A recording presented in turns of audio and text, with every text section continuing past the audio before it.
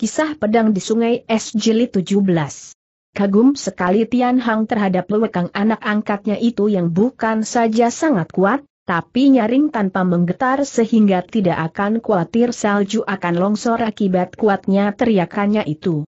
Namun sesudah Kang He Tian mengulangi seruannya beberapa kali, tetap tiada suara sahutan apa-apa tapi mereka pun tiada kecewa sebab sebelumnya mereka pun tiada menaruh harapan akan berhasilnya seruan Kang Tian. Mereka melanjutkan perjalanan ke depan. Di depan tampak menghadang sebelah tebing es yang sangat tinggi dan curam, licin sebagai kaca dan gemerlap di bawah cahaya sinar matahari. Sedang mereka mengamat-amati tebing itu tiba-tiba dari atas jatuh sepotong batu, Hampir dua keke Tian tidak percaya akan matanya sendiri ia tertegun sejenak lalu serunya, tentu Pik Moai telah mendengar suaraku tadi. Mungkin batu ini hanya jatuh secara kebetulan saja, ujar Tian Hong, nyata ia tidak percaya bahwa batu itu sengaja dilemparkan puterinya dari atas. Tapi baru saja selesai ucapannya, dari atas kembali berjatuhan pula batu kedua dan ketiga, sungguh girang Hetian tak terkira serunya, tidak, ini pasti bukan kebetulan saja. Pik Moai, Pik Moai, aku telah datang. Tebing itu halus licin sehingga susah untuk dipegang dengan tangan, Kang Metian tidak menghiraukan dingin es yang merasuk tulang itu, segera ia tempelkan tubuhnya di dinding es itu, dengan pia hao uyeu jiang kang, Ilmu cecak merayap di dinding, terus saja ia merayap ke atas. Beberapa kali ia tergelincir turun kembali tapi ia tidak patus asa ia merayap lebih cepat, untung ginkang ia sangat hebat dikala keadaan tidak enak, segera ia mengeluarkan pedang dan ditancapkan ke dalam dinding es itu untuk menahan tubuhnya. Maka dengan kepandaian merayap itu diseling dengan menikam pedang ke dalam dinding es secara bergantian, Lambat laun Kang Tian sudah hampir mencapai puncak tebing es itu lapat-lapat dapat dilihatnya di atas puncak setinggi ini ada tempat tinggal orang, pikirnya. Segera terpikir juga olehnya ya tentu Pik Moai telah ditolong oleh tuan rumah ini kalau tidak, mana mampu dia tahan hawa dingin di puncak setinggi ini. Dan selagi ia hendak merayap untuk mencapai puncaknya tiba-tiba didengarnya suara seruling yang sayup-sayup merdu. Mengharukan, penyuling itu tampaknya penuh menahan perasaan yang tak terlampiaskan. Diam-diam Hetian heran, ikiranya adik Pik pandai meniup seruling, dari seruling ini agaknya dia masih sangat menyesali diriku. Karena akhirnya dapat diketetnukan jejaknya Hoa Enpik biarpun bagaimana Herian merasa sangat girang, maka segera ia merayap lebih cepat ke atas. Tidak lama kemudian, kira-kira dua mair lagi sudah dapat mencapai puncak es itu, Tiba-tiba ada sepotong batu menggelinding pula dari atas batu-batu itu menyambar lewat di sisinya sehingga memecahkan lapisan dinding es cepat Kang Tian meloncat sekuatnya sehingga tubuhnya melayang ke atas sambil berseru, Advik, aku sudah datang. Jangan kau melempar batu itu lagi. Tapi mendadak ia dipapak oleh suara mengerang yang keras, di depannya tahu-tahu sudah berdiri seekor binatang aneh, Binatang yang dapat berdiri tegak seperti manusia, bahkan kakinya yang depan dapat menggenggam sepotong batu dan siap ditimpukan, di belakang binatang itu terdapat pula seekor binatang yang serupa dan sedang meringis-ringis buas sehingga kelihatan siungnya yang tajam. Segera Kang He Tian dapat mengenali dua ekor binatang itu bukan lain adalah Kim Soan piaraan Le Hok Sing. Dengan susah payah akhirnya Kang He Tian dapat merayap ke atas puncak es itu, siapa duga Hoa Jn Pitak kelihatan jejaknya, sebaliknya ketemu kedua ekor Kimo Soan ia menjadi gusar dan mendamprat, kiranya kalian binatang ini yang mempermainkan diriku. Rupanya kedua Kimo Soan itu juga masih kenal Kang He Tian, merasa beberapa kali pernah dihajar pemuda itu maka mereka sudah kapok dan takut padanya.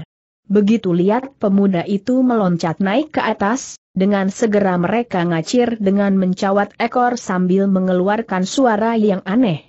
Jika binatang-binatang ini berada di sini, agaknya Lelo Sing berada di sini pula. Biarlah ku periksa ke dalam rumah itu demikian pikir Hetian. tapi sebelum ia memburu ke arah Kim Soan, tiba-tiba terdengar suara seorang menggema di sebelahnya, janganlah kau memaki kedua ekor binatang itu, sebab aku yang suruh mereka melemparkan batu ke bawah. Hei Tian terkejut, waktu ia berpaling, dilihatnya seorang pemuda dengan baju berbulu sambil memegang sebatang seruling sedang berdiri di atas sepotong batu tipis yang mirip altar dan lagi memandang padanya dengan sorot metu dingin. Pemuda itu memakui baju kulit berbulu warna putih dan berdiri pula di alas batu es sehingga hampir susah dilihat kalau tiada bayangannya yang tercetak di tanah itu pula waktu itu Kang Tian meloncat ke atas, yang segera dipergoki adalah kedua ekor Kim Soan tadi sehingga dia tidak mengetahui di sebelahnya masih ada seorang lagi. Baru sekarang Kang Tian tahu bahwa peniup seruling tadi bukanlah Hoa Enpi tapi adalah pemuda ini. Dengan mendongkol ia lantas tanya, siapakah saudara mengapa kau menggoda diriku? I apakah orang ini yang dikatakan sebagai muridnya Kim Sih terbalik pemuda itu menanya, tapi bukan kepada Kang Tian, melainkan ke arah lain. Waktu Tian memandang ke arah yang dipandang pemuda itu, Baru sekarang dapat dilihatnya bahwa Le Hok Sing sedang menongol dari samping orang aneh itu. Ya, benar, itulah dia, demikian terdengar Le Hok Sing menjawab. Maka terdengar pemuda baju pulih Iiu mendengus sekali, lalu katanya dengan tertawa dingin, Hau, ada guru begitu tentu ada murid yang sama, kalian guru dan murid memang setali tiga uang. Hei Tian tercengang tanyanya, kita selamanya tidak pernah kenal, mengapa tiba kau lantas memaki orang? Apa kesalahanku? IHM, aku tidak kenal kau, tapi apa yang perbuat apa aku pun juga tidak tahu menahu sahut pemuda itu. Hektometer, kau memang satu cetakan dengan gurumu orang yang tak berbudi dan tak kenal kebaikan, sedikit pun tidak punya perasaan, tapi disebut sebagai Tai Hiap dan Xiao Hiap apa segala, HRA, hakikatnya menipu orang belaka. Sudah tentu caci maki yang tak keruan juntrungannya itu membuat Kang Tian menjadi bingung. Tiba-tiba tergerak hatinya, cepat ia tanya, apa yang kau maksudkan dengan ucapanmu itu? Apa barangkali kau telah ketemu dengan Nona Hoa? Lekas katakan, lekas, di manakah dia sekarang? Aku tiada tempo buat berdebat dengan Kaseru Heria dengan tak sabar. Dan pada saat itu juga tiba-tiba dari dalam rumah aneh itu terdengar suara seruan orang yang berulang-ulang, Hei Ko! Hei Ko suara itu lemah dan lirih, tapi dapat didengar Herian dengan jelas. Kejut dan girang pula Kang Hetian, tanpa menghiraukan pemuda di hadapannya lalu segera ia berlari ke arah rumah itu sambil berteriak, adik pik, aku sudah datang. Rumah itu terbuat dari balok es, sekelilingnya juga halus licin, tapi saking tebalnya dinding rumah itu sehingga tak kelihatan keadaan di dalam rumah. Yang paling aneh ialah pintu keluar masuk rumah itu tak dapat diketemukan.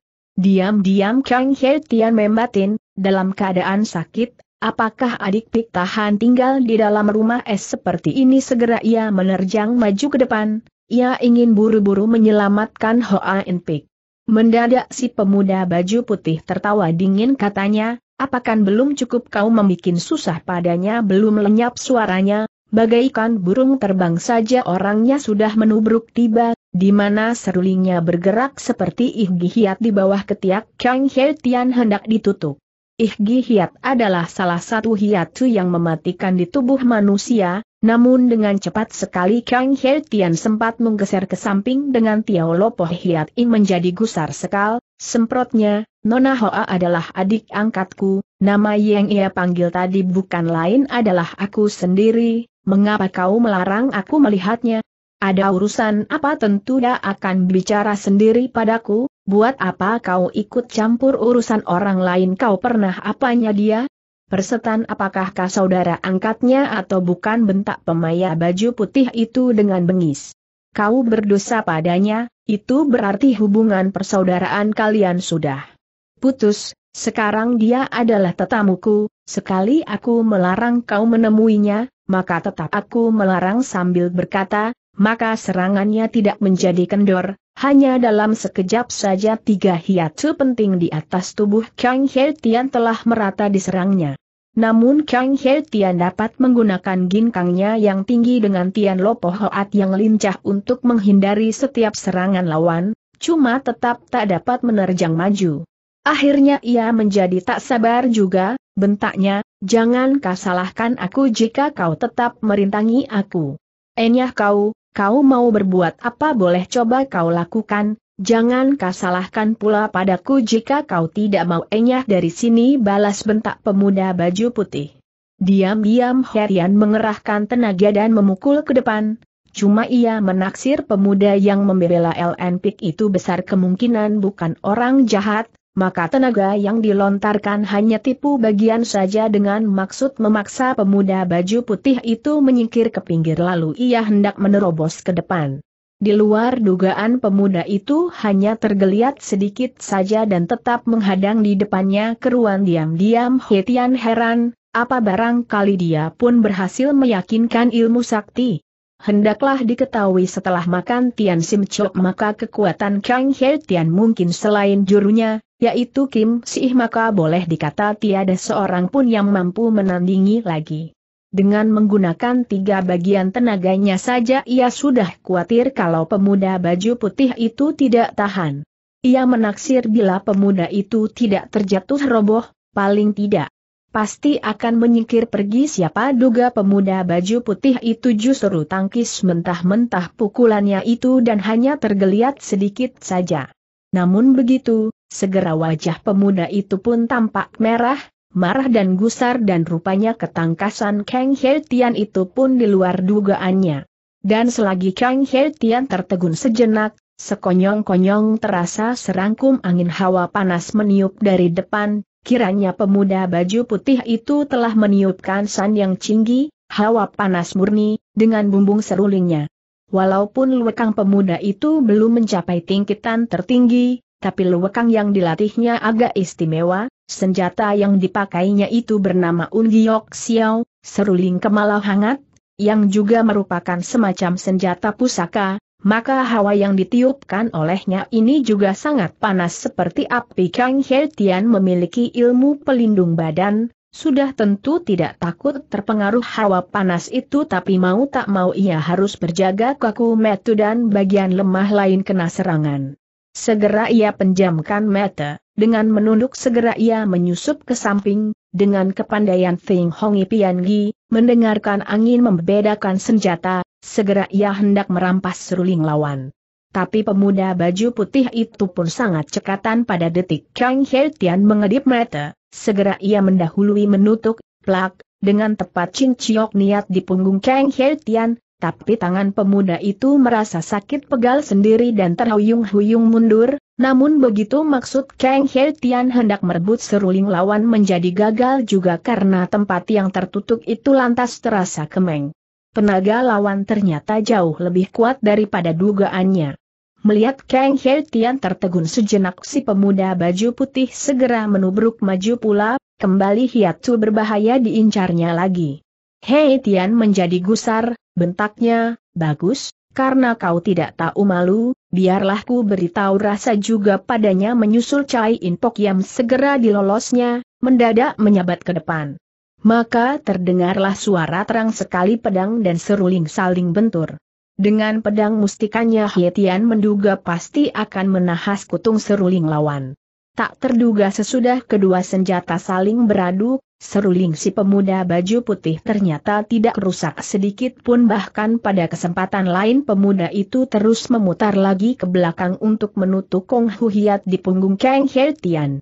Waktu Hietian memutar pedangnya ke belakang untuk menangkis, Sekali ini pemuda baju putih tak mau mengadu senjata lagi, mendadak ia mengganti tipu serangan di tengah jalan dan mematuk KM Chong Liui di bawah Iga Kang He Tian, bahkan disertai menyindir pula, hektometer, katanya lihai, kiranya cuma sekian saja.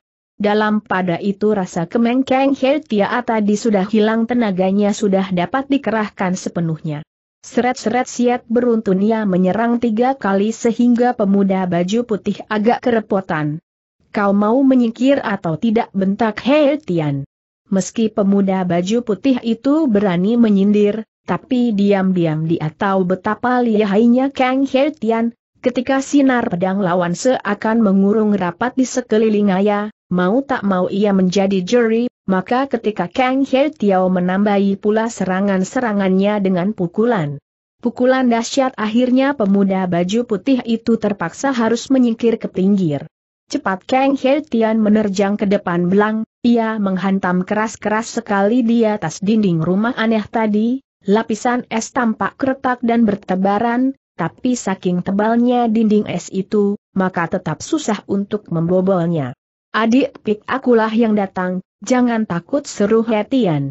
Tapi aneh juga, ketika tadi ia naik ke puncak situ masih didengar suaranya Hoa Pik yang memanggilnya, tapi selanjutnya tidak terdengar pula sesuatu suara nona itu, sekarang Kang Tian sudah berada di depan rumah dan bermaksud membobolnya untuk menerjang ke dalam, sepatutnya sekarang LN Pik mesti bersuara pula, namun di dalam rumah es itu tetap tiada terdengar sesuatu suara apa-apa.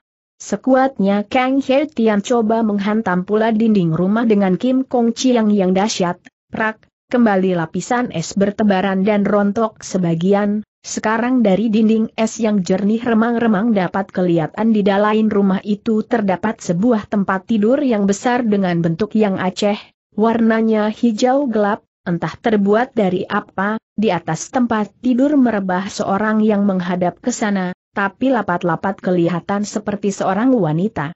Orang itu adik Pik atau bukan demikian Herian agak ragu-ragu. Tapi suara Enpik tadi sekali-sekali tak keliru baginya, Sudari memanggilnya tadi kenapa sekarang nona itu tempat sudah tertidur? Jangan-jangan, demikian ia menjadi khawatir pula, sebab dengan suara pukulannya yang keras menggempur dinding tadi harusnya Inpik akan terkaget sekalipun dalam keadaan pulas kecuali kalau nona itu keracunan atau sudah meninggal dunia. Tapi Kang Tian tidak berani memikirkan terus. Dan pada saat itu juga terdengar si pemuda baju putih sedang membentuk, apa kau ingin membuat mati dan menyusul serulingnya menutup tiba pula. Hei Tian menangkisnya sambil berseru. Bagaimana dengan adik Pik, kau telah mengapakan, dia? Mati atau hidup dia sekarang? Ngaco belo bentak si pemuda baju putih kau menghantam sembarangan ke dinding es itu kau yang sengaja hendak membuat celaka dia? Hei Tian terkesiap, Baru sekarang ia ingat bahwa dinding es itu tidak dapat disamakan dengan dinding batu yang takkan ambruk meski berlubang tapi dinding es itu dapat retak dan mungkin runtuh kena pukulannya. Karena itu ia tak berani menghantam lagi. Jika begitu, harap kau mengatakan padaku care bagaimana aku harus masuk ke dalam rumah. Aku mengatakan kau harus lekas enyah dari sini-sini sahut si pemuda baju putih.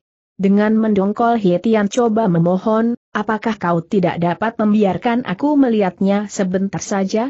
Dia tidak sudi melihat kau lagi, sahut si pemuda. Dari mana kau tahu tanya Hietian. Dia sendiri yang mengatakan padaku kata si pemuda. Tapi tadi dia telah memanggil namaku?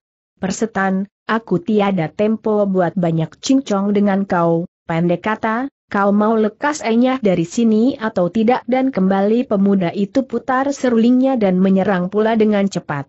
Diam-diam Herian merasa pedih juga, pikirnya, dia merebah dan membelakangi aku apa barangkali dia benar-benar tidak sudi melihat aku lagi? Tapi ah, tidak, aku harus menemui dia. Dengan tekad itu, segera ia hantamkan sebelah tangannya sehingga serangan seruling lawan kena ditolak pergi, Menyusul ia gunakan pedang untuk menusuk dinding es itu, dengan melubangi dinding es dengan pedang tentu tak akan mengakibatkan rumah itu runtuh tergetar sejak tadi Lehok Sing hanya menonton di samping kini mendadak membentaki. Kau memang bocah yang tak tahu adat, dan berani main gila di sini. Baiklah terpaksa kami menggebok sampai ngacir segera ia pun mengeluarkan senjata giok-giok, Mister Kemala, dan dengan marah-marah terus menghantam ke atas kepala Hetian.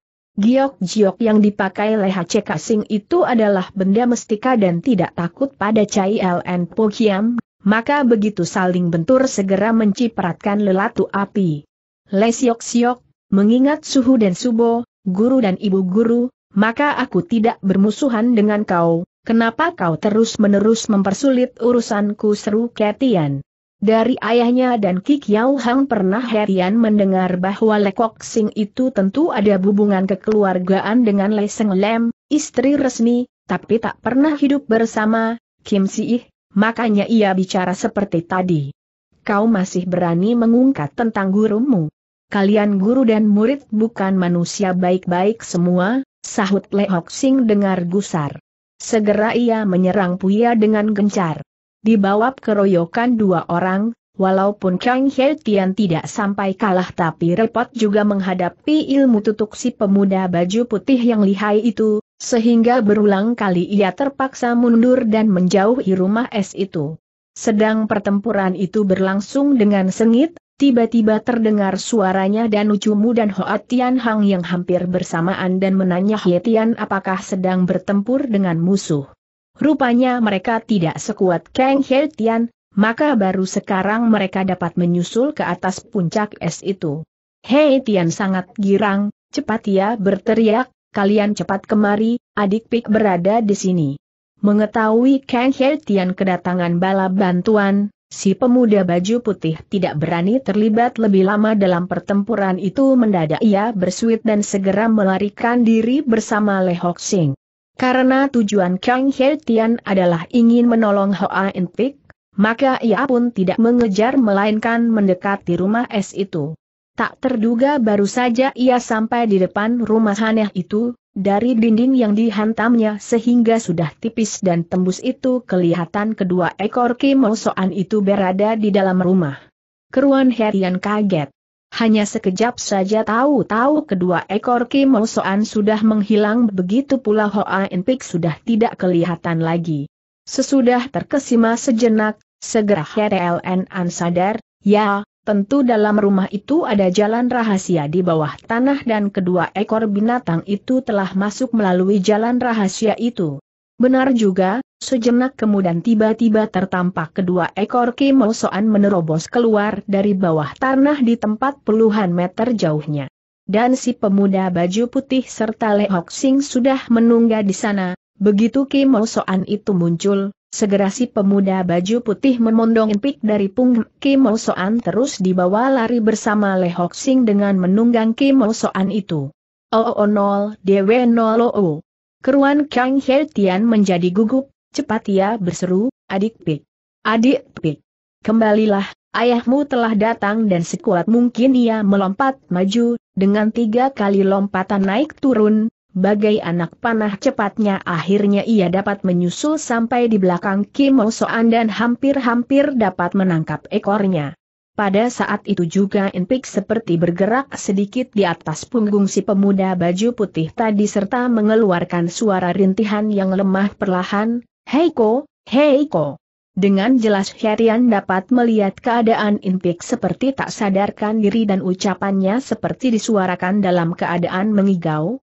Dengan girang dan khawatir segera Herian berseru pula, adik Pik, bagaimanakah kau?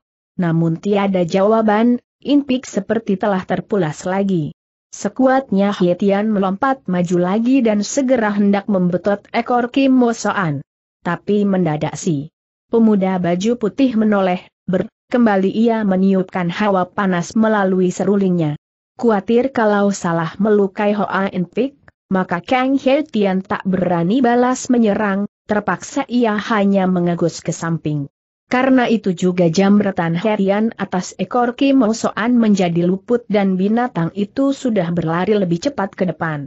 Dari dua jurusan Hoa Tian Hang dan Danu Cumu saat itu juga sudah sampai di atas puncak, Tian Hang lebih dekat dengan si pemuda baju putih, segera ia berseru, Hi, siapakah kau? Lekas lepaskan putriku. Si pemuda baju putih tampak tercengang sejenak, tapi tidak menghentikan Kim Mosoan.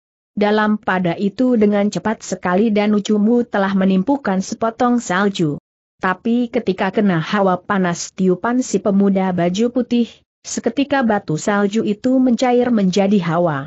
Habis itu barulah pemuda itu berkata kepada Tian Hong, biarpun kau adalah ayahnya, tapi aku tetap tidak dapat menyerahkannya padamu.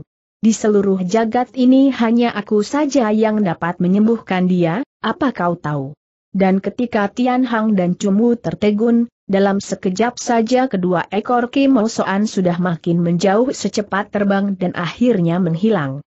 Hanya dari jauh terdengar suara seruling si pemuda baju putih yang nyaring merdu. Dari lagu serulingnya itu lapat-lapat Tian Hang dapat menduga bahwa pemuda baju putih itu pasti tiada maksud jahat atas diri Inpik, bahkan menunjukkan rasa sukanya kepada si Nona. Diam-diam Tian Hang merasa lega, tapi lantas terpikir olehnya, biar bagaimanapun, kalau kaum muda-mudi berada bersama tetap akan tidak baik, jangan-jangan akan menimbulkan hal-hal yang tak diharapkan. Maklum dalam pandangan Tian Hang sudah sejak lama ia anggap Pimpik dan Herian adalah suatu pasangan yang setimpal. Sebab itulah ia menjadi khawatir ketika si pemuda baju putih membawa lari Inpik. Sebaliknya Kang Tian di samping kecewa karena tak dapat menolong Inpik, tapi merasa lega juga baginya. Selama ini ia selalu masgul mengenai keselamatan Nona itu, tapi sekarang nona itu telah diketemukan dan dari ucapan si pemuda baju putih yang mencaci maki padanya dapat diketahui mempunyai maksud baik kepada Enpik. Maka kemudian ia tuturkan kepada Tian Hang apa yang terjadi sesudah dia naik ke atas puncak itu. Katanya dengan tertawa, dari ucapan pemuda bafu putih itu agaknya ia sedang sibuk mengobati adik Pik, sungguh menggelikan, dia tidak tahu bahwa ayah angkat justru adalah tabib sakti di zaman ini.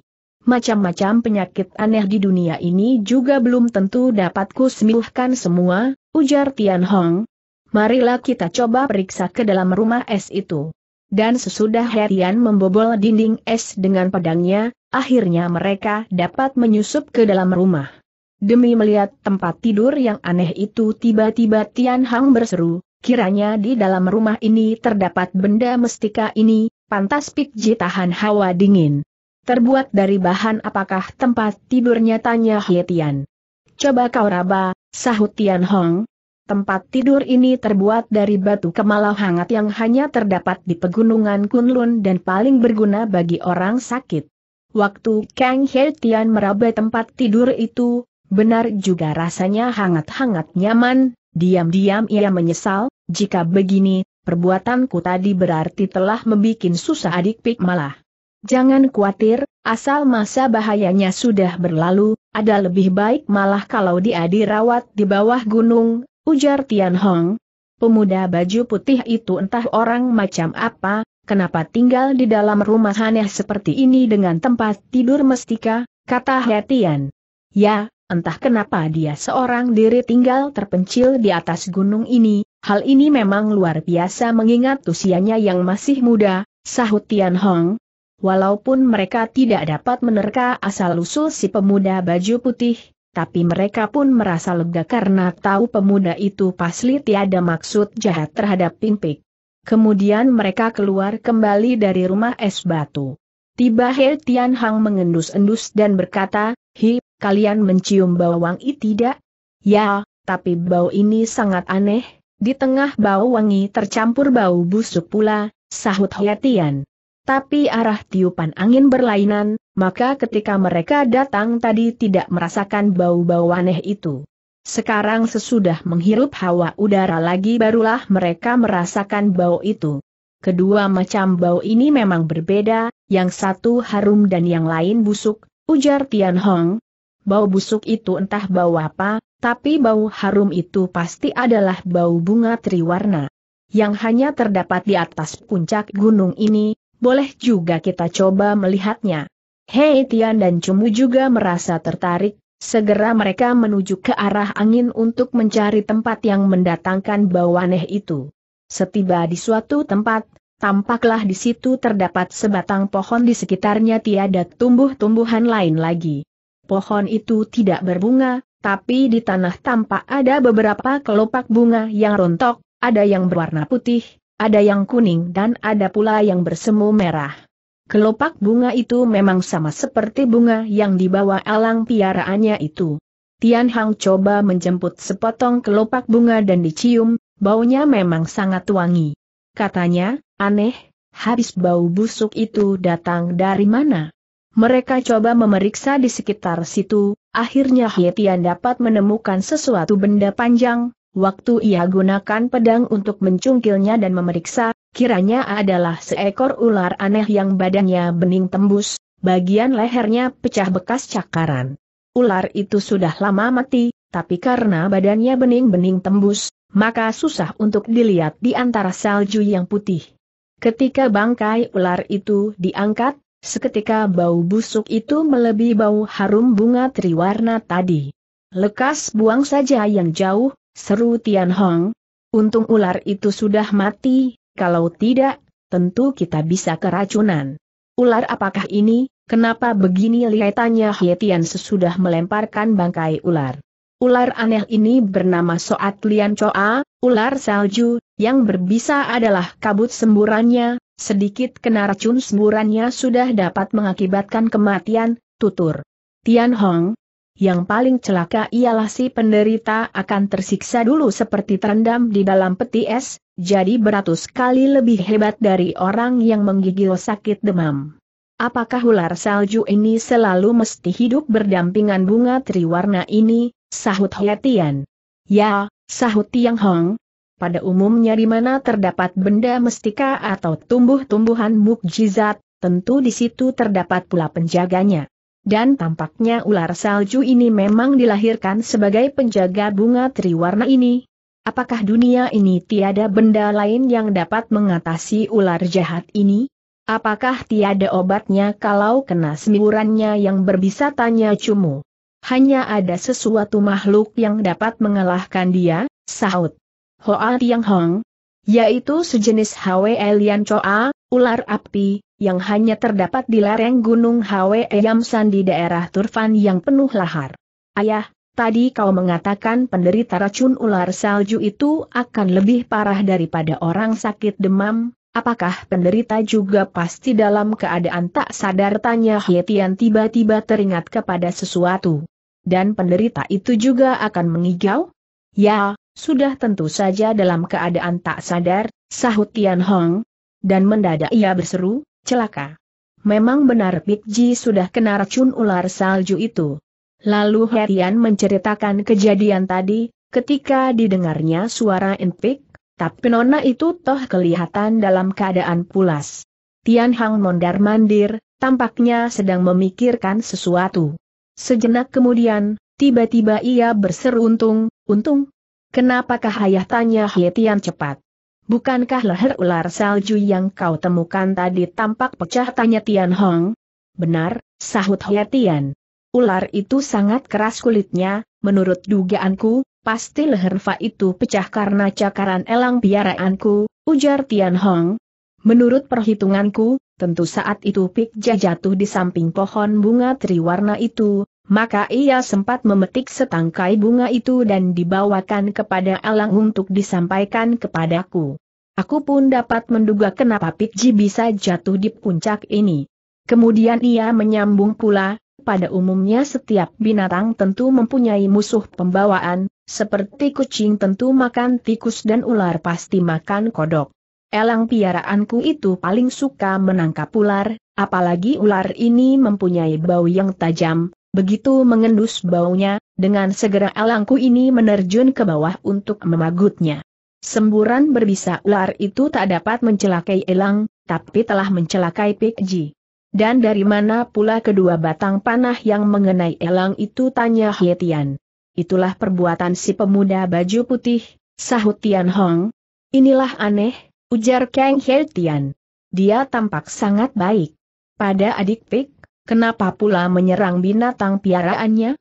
Kukira sebabnya pemuda itu tinggal terpencil di puncak gunung ini justru ialah untuk menunggu berkembangnya.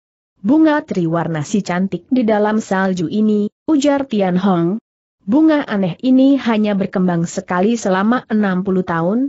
Boleh jadi leluhur pemuda itu sudah menemukan pohon bunga ini, tapi tak tahu bila mana akan berbunga, Makanya mereka mendirikan rumah es ini dan mengumpulkan batu kemalau hangat dari Kunlun San, mereka menetap di sini untuk menunggu mekarnya bunga triwarna itu, Berbareng mereka meyakinkan ilmu sakti dengan bantuan tempat tidur hangat itu. Boleh jadi hal itu sudah dimulai sejak kakek si pemuda hingga turun-temurun sampai sekarang barulah bunga triwarna itu mekar. Rupanya kebetulan Elang yang membawa Pikji lewat di sini, karena mencium bau ular salju yang aneh, maka telah menerjun ke sini untuk menerkam mangsanya, sebab itulah Pikji telah tersembur racun ular dan Elang itu pun keburu kenapa nasib pemuda baju putih, pada saat berbahaya Inpik Ji sempat memetik setangkai bunga aneh ini dan dibawakan kepada Elang yang dapat melarikan diri. Dan karena Elang itu terluka, maka sampainya di rumah menjadi ketinggalan daripada perjalanan Heji. Jadi kemudian adik Pik telah ditolong juga oleh pemuda baju putih itu, tampaknya dia toh memang bermaksud baik, ujar Hertian dan dia dapat melukai elang sakti Hoa Lo Ciampu itu, hal ini menandakan kepandaiannya juga sangat hebat, kata Cumu. Anehnya, kenapa dia tidak mau menyerahkan kembali adik Pik kepada kita, meski Hoa Lo Ciampu telah diketahui adalah ayahnya. Ya, masih ada sesuatu yang aku merasa heran, kata Tian Hong. Tentang apa tanya Tian? Le Hok Sing adalah wakil kaucu dari Tian Mokau, tidak nyana ia pun berada di sini dan berada bersama dengan pemuda baju putih itu. Hal ini membuat aku menjadi khawatir bagi Pikji, kata Tian Hong. Meski Lehok Sing adalah Hukau Chu Tian Mokau, tapi tidak pernah terdengar dia berbuat sesuatu kejahatan, cepat Tian menerangkan. Malahan guruku juga pernah mengatakan dia adalah orang baik. Tian Hong tercengang, katanya kemudian, jika betul gurumu berkata demikian, maka dia tentu bukan orang jahat. Ya, yang terang si pemuda baju putih telah memolong adik Pik maka dapat dipercayai dia pasti seorang baik, sahut Hian. Jika demikian kita boleh tidak khawatir lagi, ujar Cumu marilah sekarang kita turun ke bawah gunung saja supaya Inhing berdua tidak menunggu terlalu lama. Begitulah mereka lantas memutar kembali ke bawah gunung. Tapi tebing es yang terjal itu lebih gampang didaki daripada turunnya titik kalau sedikit kepleset bukan mustahil akan jatuh ke bawah jurang dan hancur lebur. Hoa Tian Hang sudah lanjut usianya, khawatir orang tua itu tergelincir maka Herian selalu mengiring di sampingnya, dengan demikian dan Ucumu telah mendahului berjalan di depan. Kira-kira sampai di pinggang gunung, tiba-tiba Chunui berseru dengarkan, Kang Suheng, Apakah suara itu bukan suara benturan senjata? Hei Tian terkejut, ia coba mendengarkan dengan cermat benar juga, ia lantas berseru, ya, betul, ada empat orang yang sedang bertempur. Agaknya Inhing berdua telah ketemu musuh, lekas kau turun dahulu untuk membantu mereka. Segera dan ucumu berlari ke bawah, maka dalam sekejap ia sudah jauh meninggalkan Herian berdua. Sesudah dekat dengan tempat pertempuran, dapatlah Cumu melihat jelas siapa musuh In Hing dan In Bik itu. Ternyata kedua musuh itu dikenalnya semua, yang satu adalah Bunting Bik dan yang lain adalah Kaso, putra Kayun. Dengan mati-matian tampak In Hing melawan Bunting Bik, tapi karena selisih kekuatan kedua pihak sangat jauh, maka berulang-ulang In Hing tampak terdesak mundur. Cuma usia In Hing masih muda, tenaganya kuat, ditambah Tailik Kim Kong yang keluarga in mereka bukanlah sembarangan ilmu pukulan, maka dalam 30 jurus permulaan ia masih dapat menahan rangsukan bunting Bik. Pada partai lain tampak Inbik melawan Kaso dengan bersenjata, selisih kepandaian mereka tidak jauh maka kekuatan kedua pihak hampir seimbang, cuma Inbik juga terdesak di bawah angin. Jangan khawatir, adik Bik, Aku telah datang teriak Cumu. Mendengar suara Cumu, Inbik menjadi girang. Semangatnya terbangkit seketika, seret-seret-seret, iya. Menyerang tiga kali secara beruntun sehingga Kaso dipaksa melompat mundur dan keadaan mereka menjadi seimbang lagi. Sedangkan Bunting Bik lantas menyerang lebih gencar sehingga Inhing terpaksa mesti main mundur lagi. Melihat itu, Cumbuk pikir lebih penting membantu dulu In Hing, maka segera ia memburu ke arah situ. Sementara itu In Hing sudah terkurung di bawah tenaga pukulan bunting Bik, tampaknya dengan segera In Hing akan kena dihantam roboh, kebetulan Danu Cumu tepat datangnya, biang, dengan segera ia telah menangkis hantaman bunting bik yang sedang dilontarkan itu. Karena benturan kedua tangan, bunting bik tergetar mundur setindak dan Danu Cumu juga tergeliat. Pada saat itu pula terdengarlah suara suitan panjang yang nyaring keras. Bunting bik terkejut, pikirnya, celaka, kiranya bocah Shikeng itu pun berada di sini. Dalam pada itu kembali dan Ucumu telah menghantam pula, terpaksa Bunting Bik harus menangkis, biluk, kini tampak ia terhuyung-huyung ke belakang. Diam-diam Cumu menjadi heran kenapa Bunting Bik begini tak becus. Padahal dahulu kekuatan mereka seimbang ketika bertanding di negeri Masar. Tapi ia pun tak sempat berpikir lebih jauh, segera pukulan ketiga dilancarkan lagi dengan sepenuh tenaga. Begitu dahsyat pukulan cumu itu hingga bagaikan gugur gunung lihainya. Maka terdengarlah bunting bik menjerit sekali, belum lagi tangan cumu mengenai tubuhnya, lebih dulu bunting bik sudah mencelat pergi sejauh beberapa meter dan tampaknya sudah tak bernyawa lagi. Pada saat itulah terdengar Kaso juga menjerit sekali dan segera angkat langkah seribu. Mungkin karena dilihatnya bunting bik sudah binasa, maka segera ia melarikan diri dengan ketakutan. Kaso adalah putra Raja Lalim Kayun, pula pernah bersekongkol dengan utusan negeri Kunbran menyelundup ke dalam gudang pusaka kerajaan Masar, sudah tentu dan Ucumu tidak membiarkan dia lolos. Segera ia membentak sambil mengejar, keparat, masih ingin lari? Tampaknya dengan segera Kaso akan dapat dibekuk oleh Cumu mendadak didengarnya di belakang ada suara gede bukan suara jatuhnya orang. Menyusul terdengarlah suara bergerak tertawa bunting bik, sebaliknya Indi sedang menjerit kaget. Sungguh kejut Cumu tak terkatakan. Waktu ia menoleh dilihatnya In Hing telah jatuh di tanah dan belum sempat merangkak bangun, sedangkan Bunting Bik sudah mengempit Indi terus dibawa lari ke arah sana. Rupanya kejadian bunting bik muntah darah dan mencelat tadi sebenarnya cuma pura-pura saja. Biarpun Lewekang dan Ucumu sudah mencapai kemajuan setelah makan Tian Sim Chiok, tapi juga belum dapat mematikan bunting bik dengan pukulan-pukulan tadi, sebabnya Ting Bik sengaja pura-pura mati ialah karena jari kepada Kang Herianlah sengaja memancing dan Ucumu memburu ke arah Kaso, dengan demikian ia dapat segera menggunakan akal liciknya dengan menawan In Bi sebelum Kang He Tian tiba. Sebenarnya dengan kepandaian In Hing dan In Bik juga masih dapat melawan Bunting Bik dan tidak mudah tertawan, tapi karena mereka pun menyangka musuh sudah mati, paling tidak juga tentu terluka parah, sebab itulah mereka tidak siap siaga dan tahu-tahu In Hing dihantam roboh serta In Bik kena ditangkap. Keruan dan Ucumu sangat khawatir demi melihat Imbik dibawa lari musuh. Terpaksa ia melepaskan kaso dan memutar balik untuk mengejar Bunting Bik. Ginkang dan Ucumu memang lebih tinggi daripada Bunting Bik, apalagi sekarang Ting Bik mengempit seorang tawanan, maka dalam sekejap saja ia sudah disusul oleh Cumu. Terpaksa Ting Bik berhenti, serunya dengan tertawa dingin, hektometer, jika kau tidak menguatirkan jiwa anak darah ini, nah, bolehlah maju menyusul ia terus menghantam sekali ke belakang.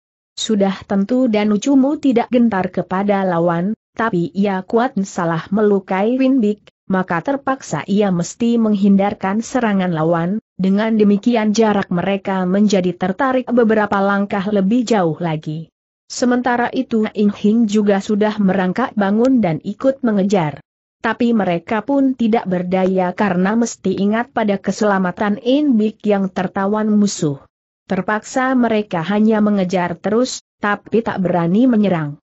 Ke mana Bunting Bik lari, ke situ juga mereka mengudak sehingga akhirnya sampai di sebuah selat gunung yang sudah membeku menjadi es setelah kejar mengejar melalui selat es dan memblok ke suatu lereng es, Tiba-tiba tertampak puncak es di depan sana menyemburkan hawa panas dan lapisan es di sekitarnya sama mencair, percikan air berhamburan di udara sehingga menimbulkan warna-warni di bawah cahaya seng surya yang gilang gemilang. Kiranya daerah dataran tinggi di wilayah barat laut banyak terdapat pegunungan berapi di bawah tanah, cuma saja gunung api yang sudah sekarat, artinya sudah hampir mati, hanya permukaannya saja yang masih menyemburkan air panas. Tapi bagi Danu Cumu biarpun waktu itu di depannya menghadang sebuah gunung berapi hidup juga pasti akan diterjangnya. Apalagi saat itu jarak lembah es itu masih beratus-ratus meter jauhnya dari pancuran air panas di atas puncak gunung itu. Saat itu Bunting Bik sedang mendaki sepotong cadas es yang menonjol. Mendadak ia terpleset dan hampir-hampir jatuh.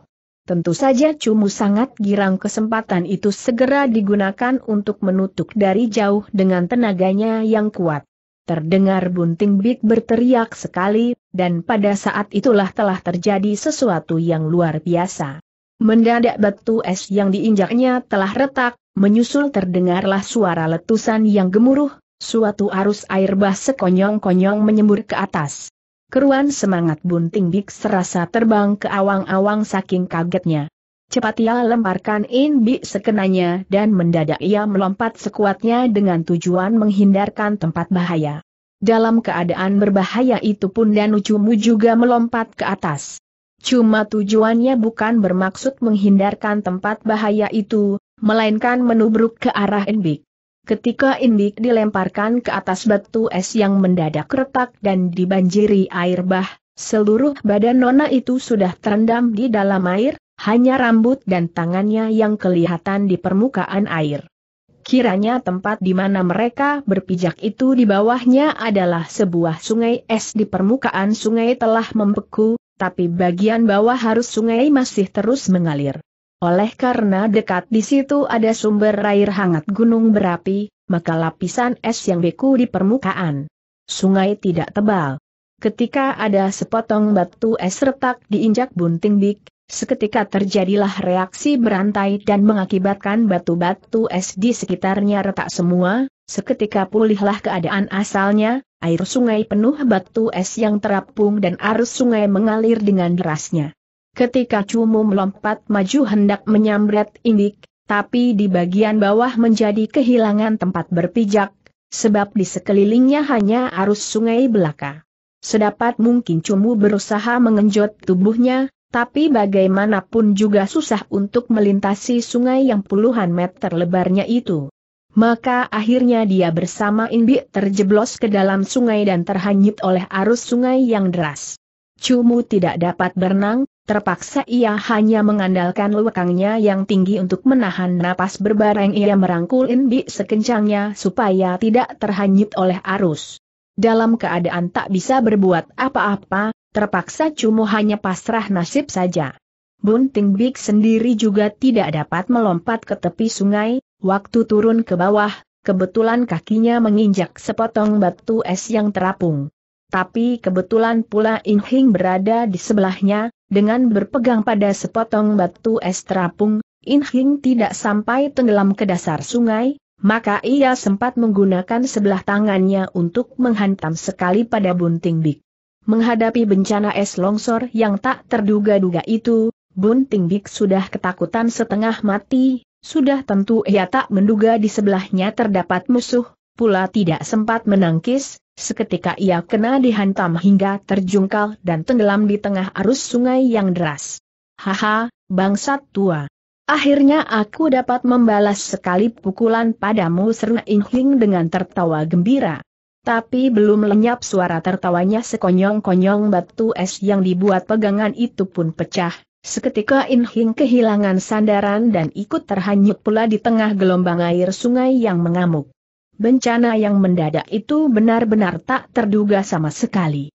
Saat itu Kang Tian baru saja turun dari Leng Chiu Hong, ketika mendengar suara gemuruh retaknya batu es, cepat ia memburu tiba, sampai di tepi tebing, dilihatnya di bawah situ sebuah sungai dengan arusnya yang bergolak, sedangkan Danu Cumu dan In Hing kakak beradik sudah tak tertampak bayangannya.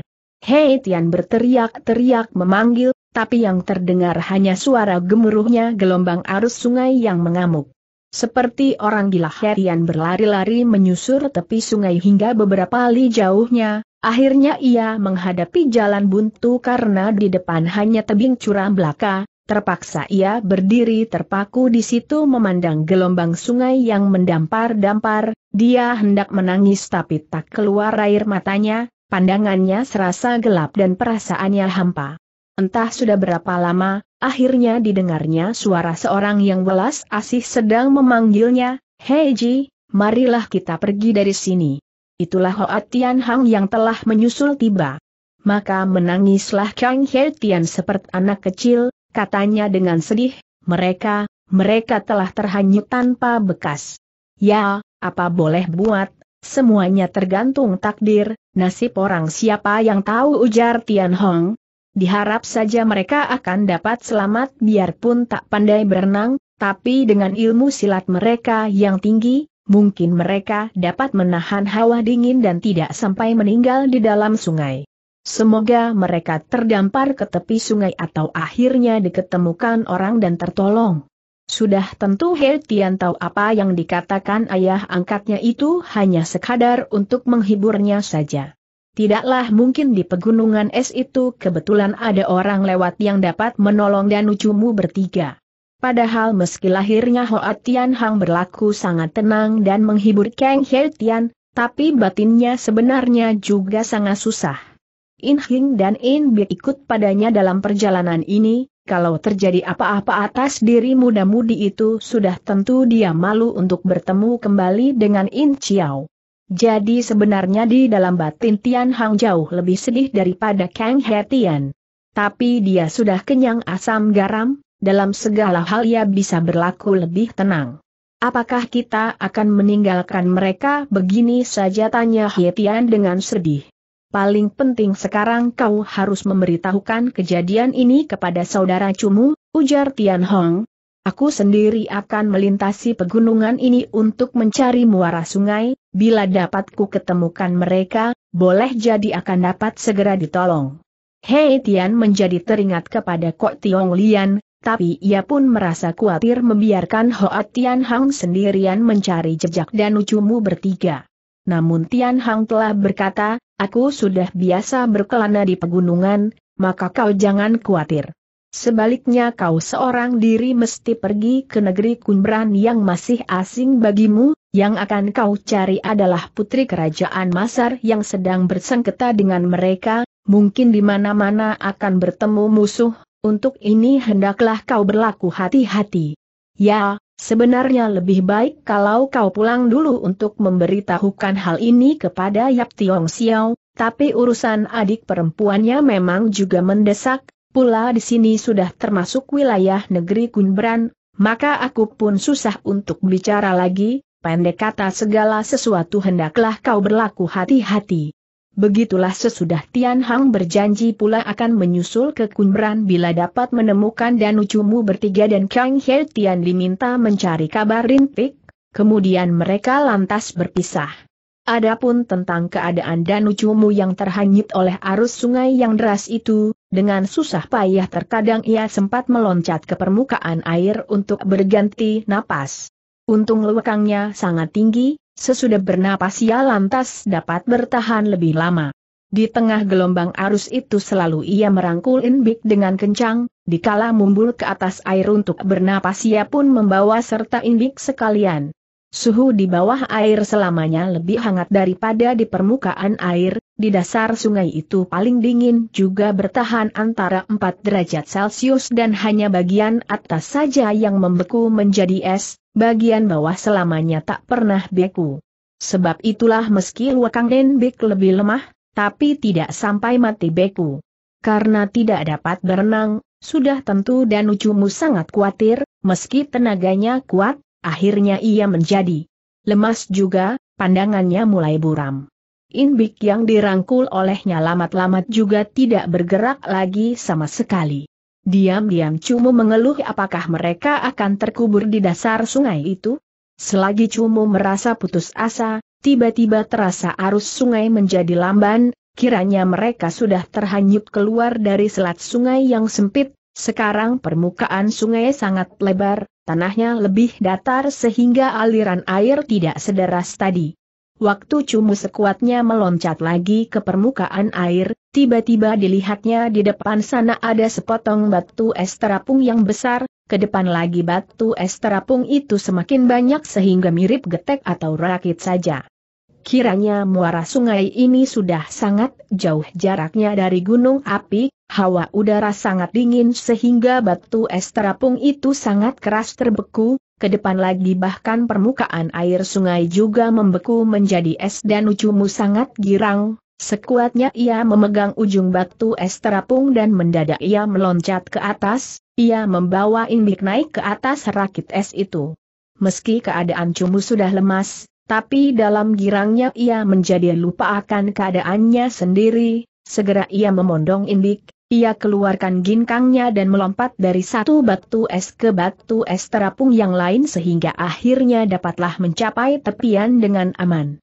Sesudah meletakkan indik ke tanah, Cumu coba memanggilnya beberapa kali, tapi kedua mata nona itu tertutup rapat, mukanya pucat menghijau, sedikit pun tidak bisa bergerak lagi. Hanya perutnya tampak gembung, terang nona itu telah banyak kemasukan air sungai. Cumu tidak ingat pada keletihannya sendiri, pula tidak menghiraukan pembatasan antara pria dan wanita lagi, segera ia mengurut dan memijat indik, sesudah tenggorokan nona itu mengeluarkan suara. Lalu ia pegang kakinya dan dijungkir sehingga nona itu memuntahkan air yang tertahan di dalam perutnya. Sejenak kemudian perlahan-lahan Inbik mulai siuman, tapi tetap lemas dan susah untuk bicara. Segera Cumu membantunya dengan menyalurkan hawa murni sendiri untuk melancarkan darah si Nona. Selang agak lama, akhirnya dapatlah Inbik bersuara perlahan. Adik Bik. Adik Bik seru Cumu. Perlahan-lahan Inbik membuka matanya, tanyanya dengan bingung, Hi, di manakah aku berada? Apa di alam mimpi? Ya, kita memang habis bermimpi buruk ujar Cumu dengan senyum getir. Tiba-tiba Inbi teringat kembali apa yang sudah terjadi. Katanya, Ai, bukankah kita terjerumus ke dalam jurang dan tentu, ya, tentu engkau yang telah menyelamatkan aku? Apakah kau telah membinasakan bangsa Sibun itu? Tidak perlu dibinasakan juga dia sudah mati tenggelam, lalu Danucumu menceritakan apa yang sudah terjadi. Wah, celaka, di manakah kakak Hing, apakah dia juga selamat seru Inbik dengan khawatir. Jangan khawatir, ku yakin dia pasti juga akan selamat, ujar Cumu. Tapi dia tak bisa berenang, kata Inbik. Bukankah aku pun tak bisa berenang? Dan kita toh dapat menyelamatkan diri, sahut Cumu. Karena itu Inbik agak terhibur dan lega. Melihat nona itu basah kuyup pakaiannya, tertampak agak gemetar, terang sangat kedinginan, diam-diam Cumu menjadi bingung, ke mana aku harus mencari pakaian untuk menyalin bajunya yang basah? Apalagi mesti mencari makanan pula untuk tangsal perut. Selagi Cumu merasa bingung, tiba-tiba terdengarlah suara seruling yang sayup-sayup merdu entah dari mana datangnya. Seketika semangat Cumu terbangkit, serunya hi, dengarlah, ada suara seruling, Besar kemungkinan di sekitar sini ada rumah tinggal orang. Ia coba mendengarkan lagi. Ia menjadi terkejut, ternyata suara seruling itu berkumandang dari tempat yang sangat jauh, hal ini menandakan lewekang peniup seruling itu pasti sangat kuat, yang aneh ialah lagu yang dibawakannya adalah sama dengan lagu yang ditiup seruling si pemuda baju putih di atas Leng Chiu Hong, Diam-diam ia berpikir, sungguh tidak nyana bahwa pemuda yang aneh itu pun berada di sekitar sini, entah Nona Hoa dibawanya ke sini atau tidak. Biarpun belum diketahui kawan atau lawan, tapi orang muda itu tampaknya bukan orang jahat.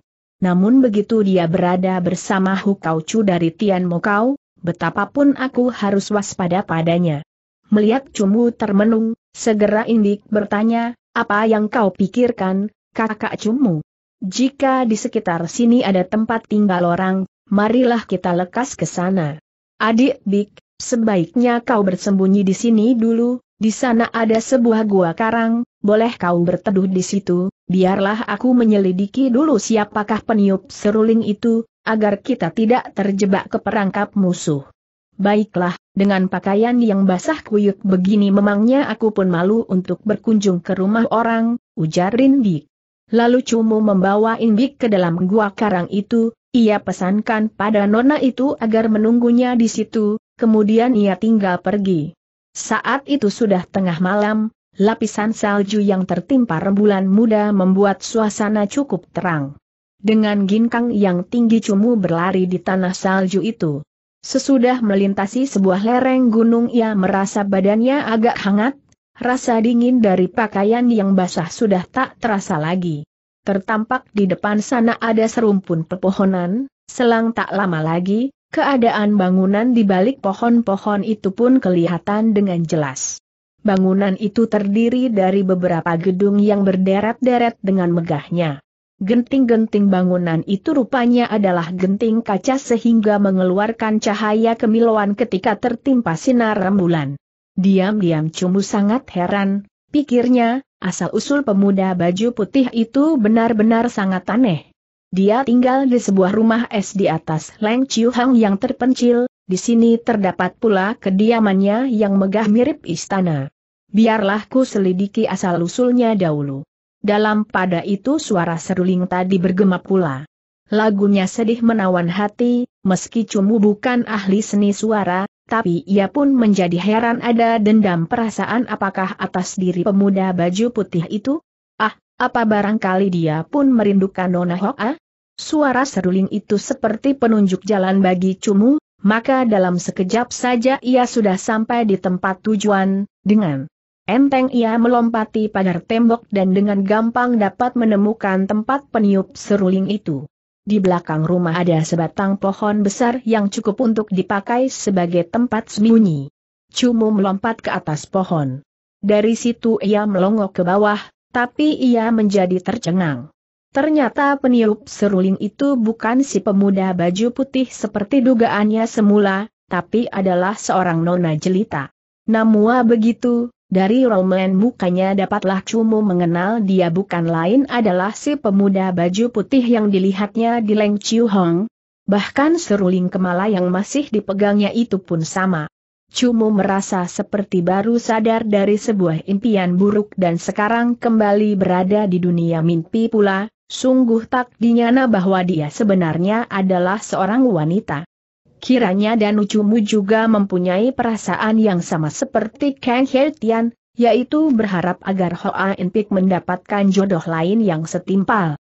Dan si pemuda baju putih yang diketemukan di atas Leng Chiu Hang itu adalah calon yang mereka harapkan dapat merangkap perjodohan dengan Hoa Inpik mengingat mereka telah tinggal bersama selama itu dan yang satu telah diselamatkan oleh yang lain, Kejadian demikian tentu akan memudahkan berlangsungnya perjodohan, dan bila hal ini terlaksana, maka kesulitan Kang He Tian selama ini akan berakhir. Siapa tahu sekarang pemuda yang mereka anggap setimpal menjadi suami Hoa Enpi tahu-tahu adalah wanita juga. Keruan Cumu menjadi kecewa, dalam keadaan limbung hampir-hampir ia terjatuh dari atas pohon. Sungguh kejadian di luar dugaan ini membuat Danu Cumu menjadi bingung, apakah meski menemuinya di dalam rumah atau tinggal pergi saja? Tiba-tiba terdengar Nona di dalam rumah itu sedang memanggil, Maisah.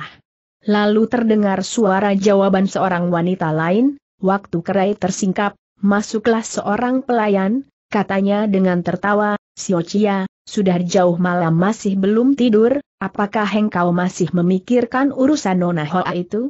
Ya, nasib Nona Hoa memang sangat harus dikasihani, tapi wanita yang harus dikasihani di dunia ini tidak hanya dia seorang saja, ujar si Nona dengan terharu. Nyata yang sedang mereka bicarakan pasti adalah Hoa Enpik. Diam-diam Cumu bersyukur pula karena Nona itu memang berada dalam keadaan baik-baik. Kemudian si Nona berbisik-bisik dengan pelayannya, entah apa pula yang dibicarakan. Tak lama, pelayan itu lantas keluar dari kamar si Nona. Cumu menduga pelayan itu tentu akan pergi menjenguk Hoa Inpik, maka diam-diam ia mengikut di belakangnya. Benar juga, Pelayan itu terus menuju ke belakang suatu taman, di tengah taman itu terdapat sebuah empang yang cukup luas, di tengah empang terdapat pula sebuah rumah yang indah. Sesudah melalui sebuah jembatan gantung, tiba-tiba pelayan itu memperlambat jalannya, sambil berjinjit-jinjit ia mendekati rumah itu. Pada saat itulah dari dalam rumah terdengar suara seruan girang seorang nona, Hei ko! Hei ko! Terang itulah suara Enpik. Walaupun sudah menduga Enpik berada di situ, namun suaranya toh membuat Cumu bergirang pula. Dengan perlahan ia mendekati si pelayan. Tampaknya pelayan itu sedang memperhatikan gerak-gerik di dalam rumah sehingga Cumu hampir berada di sampingnya baru ia tahu. Tapi sebelum ia bersuara, secepat kilat dan Cumu sudah menutup hiatu yang membuatnya kaku dan bisu untuk sementara. Pada saat lain tiba-tiba Cumu mendengar suara seorang lain sedang berkata di dalam rumah itu, Aku adalah Inhing, Nona Hoa, apakah kau masih ingat padaku? Maka terdengar Inpik berseru kaget, katanya, Hi, kenapa kau adanya? Eh, tempat apakah ini? Apakah aku dalam mimpi? Dari mana kau bisa berada di sini? Rupanya kedua muda-mudi itu baru saja mendusin. Mungkin Ing Hing merasa pedih karena dirinya salah disangka sebagai Kan Hetian, maka suaranya tadi agak cemplang. Bahwasanya In Hing juga berada di dalam rumah itu, Sungguh hal ini sama sekali di luar dugaan dan ucumu. Sekejap itu sungguh ia merasa seperti sedang mimpi belaka. Maka terdengar In Hing sedang berkata, Ya, aku sendiri pun heran. Aku masih ingat, aku terhanyut di tengah arus sungai, kenapa sekarang aku berada di sini, pakaianku juga sudah tertukar. Eh, Nona Hoa, bukannya aku sengaja masuk ke dalam kamarmu, Sebelumnya aku tidak tahu bahwa engkau juga berada di sini. Aku pun tidak kenal tempat ini, sahut Inpik. Wah, tampaknya kita sama-sama telah dipermainkan orang. Kemudian kedua muda-mudi itu agaknya telah berbangkit. Tak lama kemudian terdengar Inhing berkata, sungguh aneh kenapa rumah itu dibangun serapat ini, sama sekali tak kelihatan sebuah pintu pun. Diam-diam Cumu berpikir apakah barangkali rumah ini sama seperti rumah es di atas Leng Chiu Hang itu dan harus melalui jalan di bawah tanah untuk bisa keluar masuk. Sebenarnya ia ingin lantas bersuara, tapi demi ingat kata-kata dipermainkan orang yang disebut impik tadi, tiba-tiba hatinya tergerak dan tidak jadi memanggil kedua muda-mudi itu. Ia yakin beradanya In Hing dan In Pik di dalam suatu rumah itu tentu sengaja diatur oleh pemilik rumah itu dan mempunyai maksud tertentu. Hi, aku ingat seakan-akan ada seorang nona berbaju putih selalu berada di sampingku, entah siapa dia tiba-tiba In Pik berkata. Aku pun merasa seperti pernah dijenguk oleh ayahku, oleh Hietian, dan kalian kakak beradik pula serta lain-lain lagi. Ah, kau hanya mimpi saja, ujar In Hing dengan tertawa. Ya, nona baju putih itu pun mengatakan aku telah bermimpi, tapi aku sendiri menjadi bimbang apakah mimpi. Atau sungguh-sungguh, ujar Pik. Pula nona baju putih itu manusia tulen atau cuma halayanku saja, entahlah, aku pun tidak tahu pasti. Kukira nona baju putih itu benar-benar ada orangnya, Justru dia yang telah menyelamatkan kau, kata In Hing. Dan kau memang telah mendengar suara Kang Su Heng ketika berada di Leng Chiu Hong? Ya, aku pun berpendapat demikian, kata In Pik. Di manakah Leng Chiu Hong itu? Aku bersama Kang Su Heng dan ayahmu sekalian hendak pergi ke Kunberan.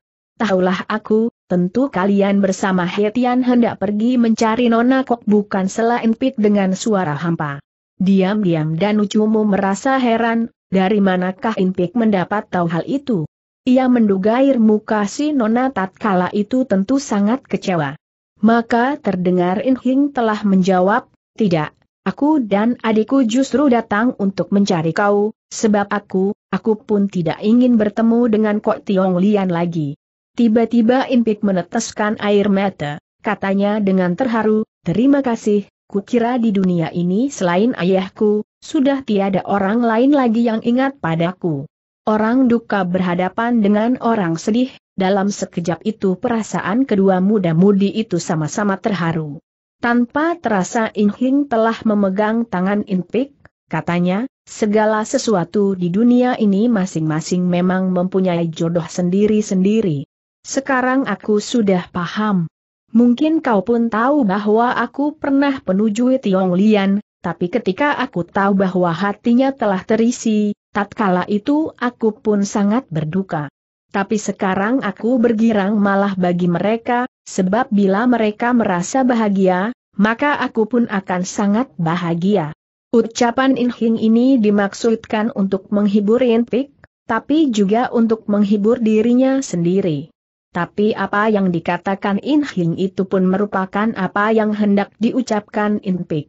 Seketika itu Inpik seperti dikemplang satu kali, meski hatinya tetap luka, tapi orangnya sudah sadar kembali. Sungguh sangat kebetulan bahwa Inhing dan Inpik justru senasib dan mempunyai perasaan yang sama, karena itu ucapan masing-masing menjadi lebih meresap ke dalam lubuk hati mereka. Dengan air mata bercucuran Inpik juga memegang tangan In Hing dengan erat dan penuh haru. Meski air mata memenuhi pipi si Nona, tapi In Hing dapat merasakan bahwa kini sudah habis hujan terbitlah terang. Pada saat itu dan Ucumu yang mendengarkan di luar rumah menjadi paham juga duduknya perkara. Kiranya si nona baju putih memang mempunyai tujuan tertentu dengan menaruh Inhing dan Inpik di dalam suatu kamar yang sama. Cumu sendiri tidak tahu bagaimana jadinya dengan kedua muda-mudi itu kelak, yang terang mereka sekarang tidak merasakan kekosongan hati lagi. Dalam keadaan lemah, perasaan setiap orang memang perlu saling hibur di antara orang-orang yang senasib dan rasa kesal mereka tentu akan banyak berkurang. Kedatangan Cumu ini sebenarnya hendak mencari Inpik, tapi sekarang setelah paham maksud tujuan si Nona baju putih, ia urungkan niatnya dan tidak ingin mengejutkan Inpik dan Inhing.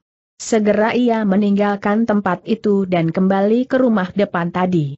Setelah mengikuti semua kejadian itu, Cumu lebih yakin lagi bahwa si Nona baju putih pasti tiada mempunyai maksud jahat.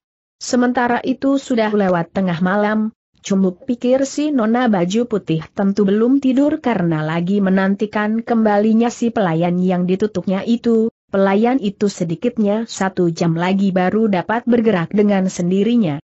Maka ia ambil keputusan hendak pergi menemui si nona baju putih. Tapi baru saja ia sampai di depan rumah itu, tiba-tiba terdengar suara aman binatang buas, terang itulah suara Kim Mosoan. Cumu terkesiap, Pikirnya, ya, hampir-hampir aku lupa bahwa Hukau Chu dari Tian Mokau itu pun berada di sini. Karena itu segera Cumu mengubah rencananya, segera ia menyusur ke depan dengan ginkang yang tinggi. Baru saja ia melalui sebuah gunung-gunungan di pojok taman situ, tiba-tiba tertampak seorang lelaki sedang mendatangi dengan mengomel sendiran, tengah malam buta begini orang disuruh melayani binatang kurang ajar itu. Dasar tukang gegares, sudah makan dua ekor kelinci masih kurang. Untung di dalam dapur masih ada daging lembu, biarlah ku berikan saja ini. Memangnya dan ucumu sedang kelaparan, ketika mengendus bau daging masak yang mungkin baru saja diangkat dari wajan, tentu saja hal itu sangat kebetulan baginya. Dari samping segera ia menutupnya, lalu menyambar daging yang dibawa lelaki itu. Daging itu memang masih hangat, tanpa pikir lagi segera ia menggerogotinya dengan lahap. Kiranya daging itu adalah daging yak, semacam lembu yang hanya terdapat di daerah dataran tinggi Tibet dan sekitarnya, daging yak jauh lebih halus dan lezat daripada daging lembu jenis lain. Apalagi dalam keadaan lapar, maka Cumu merasa daging itu jauh lebih enak daripada daharan yang pernah dirasakannya di dalam istana sendiri. Diam-diam ia merasa geli pula bahwa seorang raja ternyata sekarang mesti berebut pangan dengan hewan. Setelah kenyang menangsal perut, semangat Cumu menjadi bertambah. Sementara itu ia sudah sampai di tempat. Tadi, ia bersembunyi pula di atas pohon semula untuk mengintai keadaan di bawah. Benar juga tertampak Lehok Sing sudah berada di dalam kamar dan sedang bercakap-cakap dengan si nona baju putih. Ternyata kau juga pandai merangkap perjodohan orang, demikian terdengar Lehok Sing sedang berkata dengan tertawa. Tapi apakah dapat jadi atau tidak tergantung pada mereka sendiri, ujar si Nona. Sungguh aku tidak tahu di mana kehebatan bocah itu sehingga begitu banyak nona jelita yang jatuh hati padanya, kata Le Hok Sing. Si nona baju putih tampak tertawa, sahutnya, tentu disebabkan gurunya, makanya kau benci padanya bukan? Dan nona Hoa sesungguhnya juga sangat kasihan, kata Hok Sing menyimpangkan kata-kata si nona. Nyata ia tidak suka mengungkit diri Kim Si dan Le Sengiam di masa lalu. Dan entah siapakah pemuda itu? Hi, apakah kau kira aku sembarangan menjodohkah orang saja sahut si Nona dengan tertawa. Sudah tentu aku sudah mencari tahu dengan jelas. Pemuda itu adalah putra Cheng Chu dari Cui Cheng. Malahan In Chiao adalah sobat baik mendiang ayahku. Mendengar itu dan ucumu menjadi girang. Pikirnya, kiranya si Nona ini mempunyai hubungan baik dengan In Cheng Chu, pantas dia telah menyelamatkan In Hing dan hendak menjodohkan dia pula. Jika dia tahu kedatanganku, tentu dia akan menyambut aku dengan baik. Dalam pada itu terdengar si Nona sedang tertawa dan berkata, Lesiok siok, kau sendiri memerlukan aku jadi comblang atau tidak? Ah, Nona Giok suka bergurau, sahut Lehok Sing dengan nada kemalu-maluan. Bukankah kau senantiasa terkenang kepada Bibi Karani, sahut si Nona mengolok-olok. Karani adalah nama pribadi Tian Mo Chu. Tentang Le Hok Sing jatuh cinta kepada Tian Mo Chu memang sudah didengar oleh orang Bulin, namun bagi Danucumu baru pertama kali ini mendengarnya. Diam-diam ia merasa heran dan geli pula, pikirnya, meski usia Le Hok Sing sudah lebih 20 tahun, tapi tingkah lakunya masih kekanak-kanakan. Sebaliknya usia Tain Mo Kau Chu jauh lebih tua dari dia, bahkan lebih pintar dan lebih masak, segalanya sangat berbeda dengan Le Hok Sing, bagaimanapun susah untuk dipercaya bahwa mereka dapat terangkap menjadi jodoh. Tapi Le Hok Sing justru telah jatuh cinta padanya, nyata cinta itu memang buta. Mungkin karena olok-olok si Nona tadi dan Le Hok Sing menjadi kikuk. Maka si Nona telah berkata pula dengan tertawa, Lesiok-siok, kau telah membantu aku, maka aku pun akan membantu kau, maukah aku menjadi comblang bagimu? Tiada gunanya, Nona Giok, ujar Lehok Sing sambil menghela napas. Masakah dia sendiri tidak tahu perasaanku, tapi dia selalu menganggap aku sebagai adiknya saja, sungguh aku sendiri tidak tahu cara bagaimana membuat suka dia. Aku menjadi khawatir kalau, kalau dia tertipu oleh orang Shibun itu. Dia takkan tertipu, jangan khawatir, ujar si Nona. Aku cukup tahu isi hati Bibi Karani. Dia ingin membangun Tian Mokau, maka dia hanya menginginkan bantuan tenaga bunting Bi saja, tentang pribadi orang Shibun itu Bibi sudah cukup tahu. Menurut aku, orang yang benar-benar disukainya tak lain tak bukan adalah engkau. Lehok Sing terdiam sejenak, Kemudian ia berkata, perasaannya susah untuk diraba, ia pun tidak suka orang luar mengetahui urusanku dengan dia. Nona Giok, terima kasih atas maksud baikmu, lebih baik kau jangan, jangan. Kau sangat ingin, tapi tidak berani minta aku menjadi comblangmu, goda si Nona dengan tertawa. Baiklah, jika begitu boleh kau meneruskan usahamu sendiri. Aku dapat menyarankan padamu, boleh kau memberikan sesuatu barang kesukaannya, saking girangnya mungkin dia akan. Apakah kau tahu apa yang menjadi kesukaannya tanya Le Hok Sing. Dia paling sayang pada Roman mukanya, takut tua, sahut si Nona. Maka aku akan memberikan setangkai bunga triwarna yang aneh itu padamu. Bunga ini telah diambil kakakku setangkai, aku sendiri masih mempunyai dua tangkai.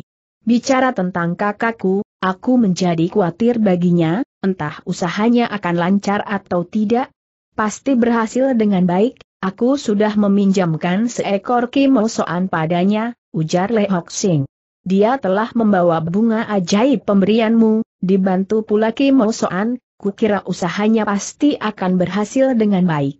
Apa yang mereka bicarakan itu sudah tak diketahui dan ucumu, tapi dapat diduganya bahwa pasti mempunyai hubungan dekat dengan Tian Mokau, dengan sendirinya asal-usulnya menjadi lebih susah untuk diselidiki. Maka terdengar si Nona sedang berkata pula, baiklah, semoga benar seperti apa yang kau katakan. Aku pun berdoa semoga urusan ini bisa terlaksana dengan baik. Setangkai bunga ini boleh kau ambil saja.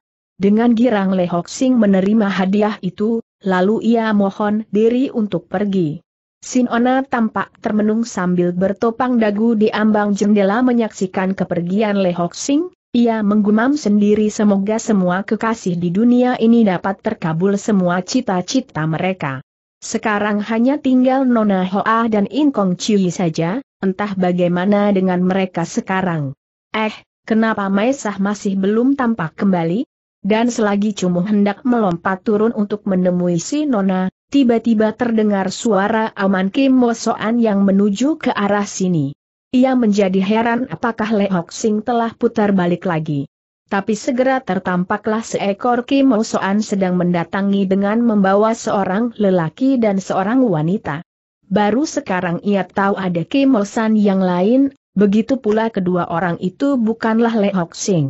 Koko, Kongcu, kalian sudah datang tiba-tiba si nona baju putih tadi telah berseru. Kiranya lelaki yang baru datang ini adalah kakak si nona, dan si wanita yang disebut sebagai Kongcu, putri raja, itulah yang mengherankan dan ucumu. Tempat ini adalah wilayah kerajaan Kunbran, jika demikian tentu adalah putri raja Kunbran. Sungguh luar biasa bahwa seorang putri melarikan diri dengan seorang pria di tengah malam buta. Cara lari binatang ini benar-benar sangat cepat sehingga dalam sekejap saja pasukan pengejar musuh sudah ketinggalan jauh, ujar Kong Chu itu dengan tertawa. Ya, untung ada binatang ini, kata lelaki tadi sambil menepuk-nepuk punggung Kim Soan dan menyuruhnya pergi. Lalu ia bertanya pada adiknya, ketika kami datang, kebetulan melihat Lehu Chu baru saja hendak pergi, kenapa begitu buru-buru? Sama halnya seperti kau, dia juga buru-buru ingin memberikan setangkai bunga si cantik di dalam salju kepada kekasihnya, sahut si nona baju putih dengan tertawa. Haha, bunga yang kuterima dari kau itu justru telah kuberikan kepada seorang yang aku paling benci, ujar si lelaki. Hi, jadi tidak kau berikan kepada Kongcu tanya si nona dengan heran. Tidak, tapi ku berikan kepada si nenek siluman penjaga Kongcu itu, sahut si lelaki. Dan berkat hadiah itu, maka dia mengizinkan aku menemui Kongcu. Dan sesudah ketiga orang itu mengambil tempat duduk masing-masing, setelah menghela napas lega, lalu Kongcu itu berkata pula, sungguh bahaya, apabila malam ini kakakmu tidak datang menolong aku, maka besok juga aku sudah akan dipaksa kawin dengan pangeran pelarian dari Nepal itu. Raja dan pangeran Nepal itu membawa banyak pengawal menyelamatkan diri ke tempat kami dan berserikat dengan kakak Baginda, mereka berjanji akan membantu kakak mencaplok. Masar, habis itu kakak akan membantu dia merebut kembali tahtanya. Diam-diam dan ucumu terkejut mendengar cerita itu, Sungguh tidak nyana bahwa di balik kejadian mereka terdapat pula muslihat lain. Entah bagaimana keadaan di Nepal sekarang? Apakah Kong Chu mendengar siapakah raja yang baru tanya si nona baju putih? Belum diketahui, sahut si Kong Chu. Paling akhir ini aku merasa kesal sehingga tidak banyak mencari tahu keadaan di luaran. Moai Moai tentu terkenang pada Tengka Goan bukan tanya si lelaki tiba-tiba. Siapakah Tengka Goan tanya Kong Chu? Dia adalah putra Tengkeng Tian dan Pengcoan Tian Li, sahut lelaki itu. Pengcoan Tian Li asalnya adalah putri kerajaan Nepal. Tiga tahun yang lalu Tengka Goan telah datang ke Nepal. Kabarnya pemberontakan kali ini justru dikerahkan oleh Tengka Goan. Waktu itu dia pun lewat di sini dan pernah bertemu sekali dengan Moai Moai. Rupanya sejak itu lantas Moai Moai selalu terkenang padanya. Aku hanya memperhatikan seorang kawan, tapi kau telah menggoda diriku, sahut si Nona dengan merah jengah. Eh, Koko, kita telah kedatangan seorang tamu yang juga selalu kau kenangkan. Coba kau terka siapakah dia? Aku tidak pandai main teka-teki, coba kau katakan saja, sahut kakaknya. Inhing dari Cui Inceng, kata si Nona. Dahulu sesudah kau kembali dari mengunjungi Inlo Ciampua, bukankah kau sering menyebut tentang dirinya kepadaku? Maksudku sebenarnya hendak menjadi comblang bagimu, tapi jika kau sudah mempunyai pilihan sendiri, terpaksa aku tidak jadi, kata kakaknya dengan tertawa. Ha, tentu kau takkan menduga bahwa sekali ini justru akulah yang telah menjadi comblang baginya, ujar si Nona dengan tertawa. Mengapa bisa demikian sahut kakaknya dengan heran. Kenapa In Hing bisa berada di sini? Kau akan menjadi comblang baginya, habis siapakah pihak perempuan? In Hing jatuh ke dalam sungai es dan aku yang telah menyelamatkan dia, tutur si Nona. Sekarang aku menaruh dia sekamar dengan Nona Hoa. Apa keadaan Nona Hoa sudah baik tanya kakaknya. Kemarin aku sudah memindahkan dia ke sini, tutur si Nona. Kukira malam ini juga dia sudah dapat sadar kembali dan untuk selanjutnya hawa dingin berbisa dalam tubuhnya itu takkan kumat lagi. Dan begitu mendusin, dia tentu akan melihat Inhing berada di sebelahnya, pasti tidak akan terheran-heran sekali, habis berkata ia lantas cekikikan geli. Kau benar-benar keterlaluan mempermainkan mereka, ujar kakaknya dengan geleng-geleng kepala. Nona Hoa sungguh harus dikasihani, kata si Nona. Selang beberapa hari ini dia selalu mengigau dan ternyata tidak pernah melupakan bocah Shikeng itu. Dari igauannya, tampaknya orang Shikeng itu hanya mencintai putri kerajaan Masar saja. Karena merasa kasihan padanya, makanya aku sengaja mengatur demikian, biarpun kau anggap aku keterlaluan. Apakah yang kalian maksudkan itu adalah putri Masar yang bernama Kok Tiong Lian tiba-tiba Kong Chu yang sejak tadi diam saja itu bertanya. Ya, benar, aku justru ingin tanya padamu tentang keadaan putri kerajaan Masar itu, sahut si Nona. Mendengar adik perempuannya yang menjadi pokok percakapan mereka, sudah tentu dan ucumu pasang kuping dengan penuh perhatian. Maka terdengar Kong Chu itu telah berkata, kakakku bermaksud menjadikan dia sebagai sandra untuk menaklukkan Masar. Semula dia dikurung di dalam kamar tahanan, kemudian hal ini diketahui oleh kakek, entah kenapa orang tua itu ternyata sangat kasih sayang kepada putri Masar itu, beliau sendiri telah datang ke tempat tahanan dan melepaskannya sendiri, bahkan mengaku dia sebagai cucunya. Kakak tidak berani bertindak apa-apa hanya penjagaan diperkeras dan melarang tawanannya keluar istana, di dalam istana dia diperbolehkan ke mana pun dengan bebas. Hati Cumu tergetar demi mendengar kabar tentang Kok Tiong Lian, baru sekarang diketahui bahwa adik perempuannya itu ternyata sudah tertawan musuh. Berbareng ia pun heran kenapa Maharaja tua, ayah raja yang bertakhta, begitu baik kepada adiknya. Dan jika Tiong Lian diperbolehkan bergerak secara bebas, kenapa dia tidak mau melarikan diri, toh kepandaiannya tidak rendah? Apakah mungkin karena di Kunbran ada seorang sakti yang lihai seperti Po Siang Hoatsu yang telah menaklukkan Tiong Lian? Dalam pada itu terdengar Kong Chu itu sedang melanjutkan, selain kakek sangat suka pada putri Masar itu, bahkan dia pun dapat bergaul dengan baik dan menganggap aku sebagai saudara. Ia pernah minta aku mengirimkan berita tentang dirinya kepada saudaranya yang menjadi Raja Masar, tapi dia tidak tahu bahwa aku pun dalam pengawasan kakak, makanya aku tidak dapat melaksanakan permintaannya itu. Sekarang aku sudah bebas, aku menjadi ingin melakukan sedikit kewajiban baginya. Ini terlalu mudah sekali, dengan menunggang Kim Soan, besok juga aku sudah bisa sampai di kota Raja Masar, ujar si lelaki dengan tertawa. Diam-diam Cumu tertawa sendiri, ia pikir bukankah sekarang aku sudah berada di sini.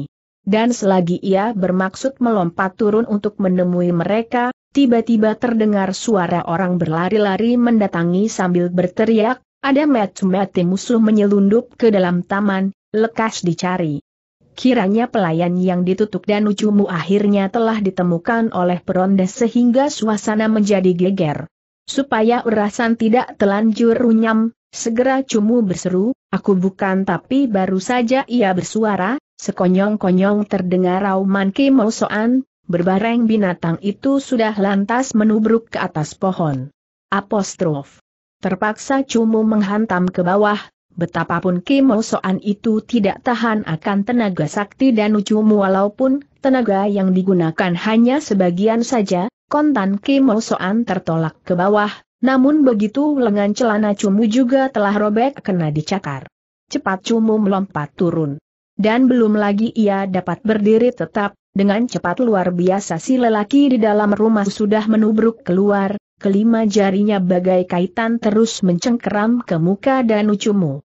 Karena cengkeraman yang hebat itu, terpaksa Cumu menangkisnya, walaupun serangan lawan dapat dihindarkan, tapi pergelangan tangan yang dibuat menangkis itu pun terasa sakit. Diam-diam ia terkesiap akan kelihayan lawan. Apa kau ingin merampas kembali Kongju? Huh, Jangan harap bentak lelaki itu. Rupanya ia salah menyangka Cumu sebagai jagoy yang dikirim dari Kundran. Menyusul kedua tangannya lantas memukul pula, karena dia berlatih di puncak es, maka pukulannya membawa hawa dingin. Cumu tidak berani ayal dan memapak dengan pukulan yang hampir memakan seluruh tenaganya, maka lelaki itu telah tergetar mundur beberapa tindak. Aku bukan orang yang hendak merebut kembali putrimu itu, tapi aku adalah Raja Masar yang justru hendak kalian sampaikan berita itu teriak cumu cepat. Omong kosong, mana mungkin Raja Masar bisa datang kemari bentak lelaki itu tidak percaya dan segera hendak menyerang pula. Syukur putri kerajaan Kunbran itu lantas berseru, tahan dulu, to aku. Lekas kau minta maaf. Lelaki itu merandek dan mengurungkan serangannya, sikapnya menjadi kikuk. Tanyanya, apa dia betul-betul adalah Raja Masar? Sungguh ia tidak habis heran dari mana Kongcu kenal akan Raja Masar. Namun Kongcu sudah lantas maju dan memberi sembah hormat. Karena itu si lelaki menjadi gugup. Lekas ia pun memberi hormat dan berkata, maafkan, hamba tidak tahu akan kedatangan Sri Baginda sehingga telah berlaku sembrono. Cumu tersenyum sambil membalas hormat. Sahutnya, aku sendiri pun ingin minta maaf atas kedatanganku yang tidak permisi ini. Sesungguhnya kedatanganku ini justru ingin minta bantuan dan tidak dalam kedudukanku sebagai raja. Maka hendaklah kita bergaul sebagai teman biasa saja. Danu Cumu hanya bergaya hormat dan seperti hendak membangunkan orang, tapi dari jauh si lelaki dan Kongcu itu merasa seperti diangkat oleh sesuatu tenaga yang tak kelihatan sehingga tidak dapat menyembah. Keruan lelaki itu menjadi terheran-heran, sama sekali tak terduga olehnya bahwa seorang Raja Masar ternyata memiliki ilmu sakti selihai ini. Maka dengan tertawa Cumu berkata, apakah Kongcu merasa pernah kenal mukaku, makanya tahu siapakah aku? Benar, Baginda benar-benar sangat mirip dengan adik Baginda, sahut Kongcu itu dengan tertawa. Baru sekarang si lelaki tadi paham duduknya perkara, kiranya karena Danucumu kakak beradik mempunyai wajah yang mirip, maka Kongcu, kekasihnya itu, dapat memastikan Danucumu adalah Raja Masar. Dalam pada itu sesudah mengamat-amati Cumu sejenak, tiba-tiba ia berseru, ah, kiranya kau adalah teman Kang He Tian di atas Leng Chiu Hang itu. Ya, tidak nyana kita berjumpa pula di sini sahut Cumu dengan tertawa. Terima kasih atas pertolonganmu kepada kedua kawanku. Sementara itu para hamba yang mencari penjahat itu telah memburu tiba, seorang di antaranya yang ketolol-tololan terus berteriak demi nampak dan ucumu, nah, ini dia penjahatnya berada di sini. Hus cepat si lelaki tadi membentaknya, Chuan ini adalah, adalah sobat kami. Lekas kalian enyah.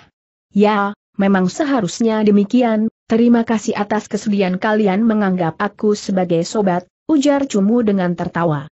Melihat keramah tamahan Cumu kakak beradik, Chuan rumah dan putri dari Kunbran itu menjadi senang.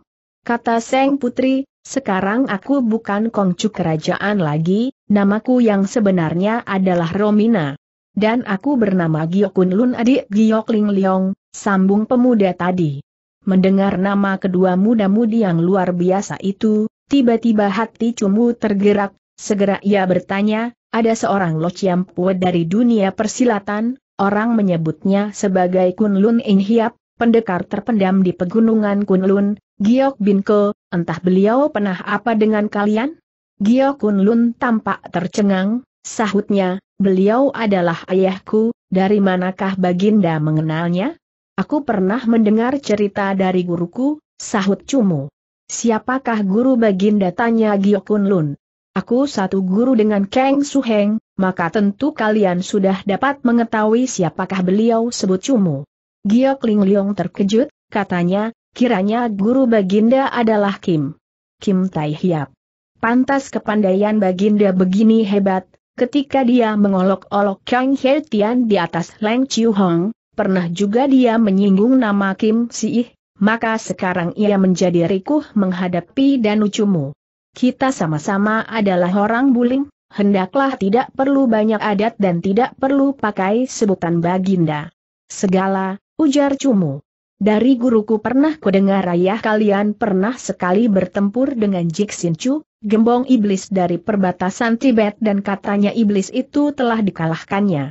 Guruku sangat kagum sekali kepada ayah kalian dan pernah tiga kali berkunjung kemari, cuma sayang tidak pernah berjumpa.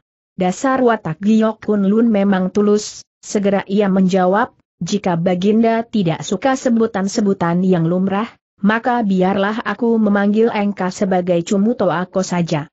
Tentang pertarungan ayah dengan Jiksin Chu memang pernah terjadi. Cumuto aku bukan orang asing lagi, maka biarlah ku katakan terus terang. Dalam pertarungan yang memakan waktu sepanjang hari, sampai tengah malam ayah telah kehabisan tenaga dan tampaknya sangat berbahaya, Untung saat itu kebetulan In Cheng Chu, In Chiao berlalu di sini dan telah membantu dengan Tai Li Kim Kong Chiang beliau sehingga iblis itu dihantam ngacir. Ayah terkena racun panas pukulan Jing Sin Chiang iblis itu dan susah disembuhkan, kemudian beliau mendapat petunjuk orang kosen dan terus melatih luwekang di puncak es, dengan bantuan hawa dingin dari alam itu ditambah luwekang diri sendiri yang kuat, barulah dapat memunahkan racun panas dalam badan. Sebab itulah ayah telah pindah dari Kunlun San ke Leng Chiu Hang dan membangun rumah es di puncak itu. Dengan demikian barulah ayah dapat hidup lebih lama belasan tahun sehingga kami kakak beradik dapat dididik hingga dewasa. Baru sekarang cuma mengetahui sebab musabab hubungan keluarga mereka dengan In Chiao, lantas Giok Ling Leong telah menyelamatkan In Hing dan sengaja merangkap perjodohannya dengan Hoa In Pik. Maka berkatalah Cumu, kami pun mempunyai hubungan baik dengan In Cheng Chu. Putra-putrinya juga dalam perjalanan bersama kami. Dan di manakah encicitannya Giok Ling Leong?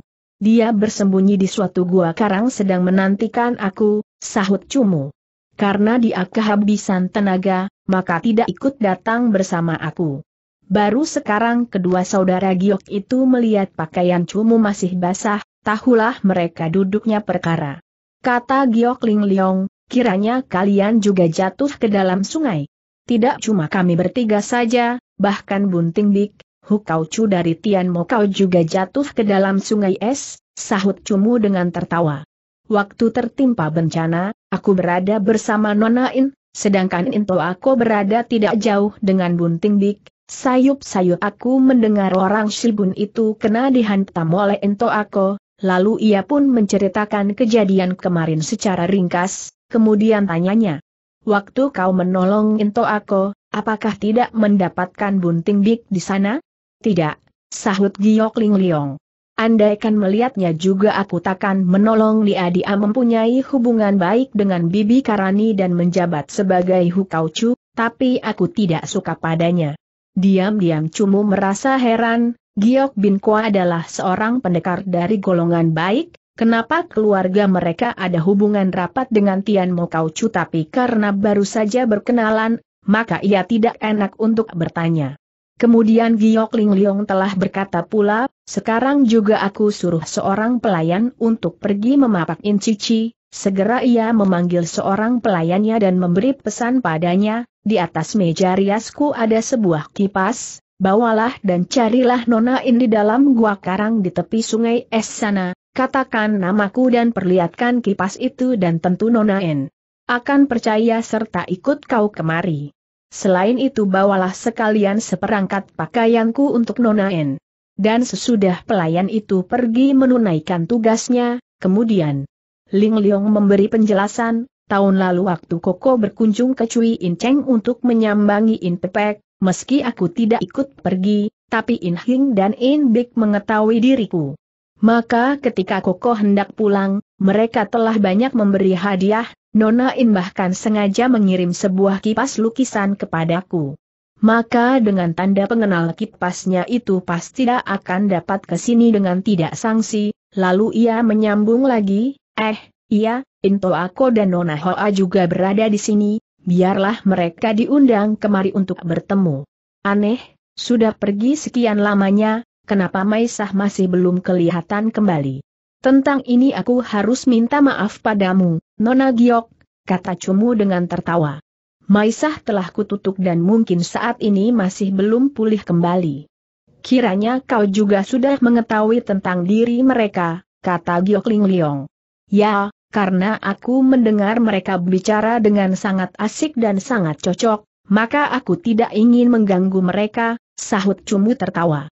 Menyusul ia memberitahukan Hiatu Maisah yang ditutuknya itu. Segera Giok Ling Leong menyuruh seorang pelayannya yang pandai agar pergi menolong Maesah, dipesannya pula, lalu kau boleh mengundang Nona Hoa dan Chuan Mudain kemari, jangan katakan namaku jika kau ditanya, katakanlah akan tahu sendiri bila nanti sudah bertemu, biar mereka nanti terkejut dan girang semua. Gio Kun Lun hanya geleng-geleng kepala dengan tertawa atas kejailan adik perempuannya itu dan baru sekarang Cumu ada kesempatan untuk bertanya tentang Putri Kunbran itu, bagaimanakah adikku bisa tertawan? Ada pula utusan resmi yang kami kirim ke negerimu, keadaan mereka bagaimana pula? Aku sendiri dalam pengawasan mereka, maka aku pun tidak jelas keadaan di luar, tutur putri itu. Tapi kudengar bahwa kakakku telah dihasut oleh Kaso dan ketika utusan kalian menyerahkan surat kepercayaan maka kakak, lantas menuduh negeri kalian telah membunuh duta kerajaan kami serta akan mengumumkan perang kepada kalian. Dengan demikian maka para utusan kalian lantas ditawan. Konon telah terjadi pertarungan sengit dahulu dan ada seorang di antaranya berhasil lolos. Itu pasti adalah adik perempuanku, ujar Cumu.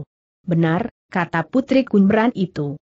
Adikmu mestinya dapat melarikan diri, tapi dia justru tidak melakukan hal itu, pada malamnya dia kembali lagi ke dalam istana dan hendak bicara dengan kakakku, tapi belum lagi bertemu dengan kakak, dia sudah kena ditawan oleh Bok Lolo. Cumu terkejut, cepat ia bertanya siapakah Bok Lolo itu? Apakah dia sendiri yang menangkap adikku?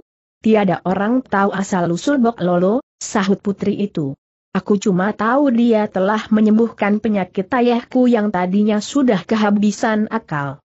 Dia mengaku sebatang kara, dan karena ayah merasa hutang budi padanya, maka telah minta dia tinggal di dalam istana.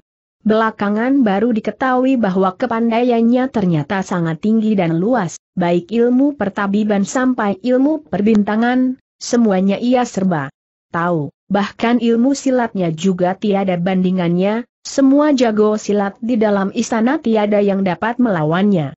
Sebab itulah semua orang sangat kagum padanya. Sudah tentu ayahku bertambah senang dan menganugerahi dia sebagai Kim Lun Sengbo, malahan membuatkan sebuah istana baginya dan melayani dia bagai ibu angkat saja. Tapi aku sendiri tidak suka padanya, kalau bertemu aku juga menyebutnya sebagai Sengbo, tapi di belakangnya aku menyebut dia sebagai Bok Lolo yang memuakan. Tentu kakakmu mengetahui kau tidak suka kepada Bok Lolo, makanya orang tua itu diminta mengawasi tingkah lakumu, ujar Giok Linglong dengan tertawa. Lalu Putri Kunbran itu melanjutkan, dan sesudah kakakku naik takhta menggantikan ayah, kakak bertambah menghormat pula kepada nenek celaka itu, segala apa diturut, segala usulnya diterima. Malam itu meski nenek itu dapat menawan adik perempuanmu, tapi kabarnya ia pun terluka ringan. Menurut dia, mestinya adikmu hendak dihukum mati, tapi kemudian sesudah diketahui adikmu adalah putri kerajaan Masar, maka kakak memutuskan akan menggunakannya sebagai sandra dalam menghadapi kalian, makanya keputusan terakhir ialah memenjarakan dia. Belakangan kakek yang telah melepaskan sendiri adikmu dan menginginkan dia bebas bergerak di dalam istana. Sudah tentu Bok Lolo mendongkol tak kepalang, tapi dia tidak berani melawan perintah kakek. Sungguh aneh juga, jika ayah dan kakakku sangat menghormat kepada nenek itu, sebaliknya kakek sama halnya seperti aku, selamanya tidak suka berdekatan dengan nenek itu. Cuma saja usia kakek sudah sangat tua dan tidak ikut campur urusan luar lagi, maka nenek celaka itu mendapat kesempatan untuk tinggal di dalam istana. Ia boleh juga. Karena kepandaian nenek itu sangat tinggi, maka kakek tidak berani terang-terangan menceritakan kebenciannya. Apakah usia kakekmu sudah sangat tua? Tanya Cumu tiba-tiba. Ya, tahun ini usia beliau sudah 89 tahun, sahut putri Kunbran itu. Kakak Baginda adalah cucunya yang tertua dan langsung menggantikan takhta kakek. Dan ayahmu bagaimana tanya Cumu? Ayah hanya hidup dalam usia 50 tahun lebih sedikit. Tatkala itu kakek masih bertakhta, sahut si putri. Jika begitu, masa takhta kakekmu agaknya sangat lama sekali, kata Cumu. Ya, Sejak umur 19 tahun kakek sudah naik takhta dan berada di atas sana selama 60 tahun, tutur Kongcu itu. Dan baru 10 tahun yang lalu beliau mengundurkan diri serta digantikan oleh kakakku, diam-diam ia pun heran kenapa Danucumu bertanya seteliti ini tentang seluk-beluk keluarganya. Kiranya Danucumu jadi teringat kepada dokumen-dokumen rahasia yang diketemukannya di dalam gudang pusaka kerajaannya itu, antara lain yaitu surat kenegaraan dari Raja Baru Kundran. Cumu masih ingat tanggal surat itu memang benar adalah 70 tahun yang lalu maka tahulah dia sekarang bahwa Raja Kunbran yang menulis surat itu kiranya adalah kakek Seng Puteri di hadapannya sekarang. Surat pemberitahuan tentang Raja Baru itu sebenarnya adalah jamak saja, tapi cuma heran mengapa leluhurnya telah menyimpan surat itu dengan penuh perhatian, maka dapat diduga bahwa bukan mustahil di balik surat itu ada urusan-urusan luar biasa. Dan sebabnya kakek Raja Kunbran itu sedemikian baiknya kepada Tiong Lian, tampaknya juga ada sangkut pautnya dengan surat yang pernah dikirimkannya itu. Ia masih ingat, Selain surat kenegaraan itu masih ada pula dua pucuk surat yang lain. Yang sepucuk adalah surat cinta dari seorang wanita dan surat lain juga ditulis oleh wanita yang sama itu yang memberitahukan seorang tera serta mengharap mereka kelak jangan sampai bertemu di medan perang. Kata-kata inilah yang dirasakan dan ucumu sebagai pesan yang luar biasa dan susah dimengerti.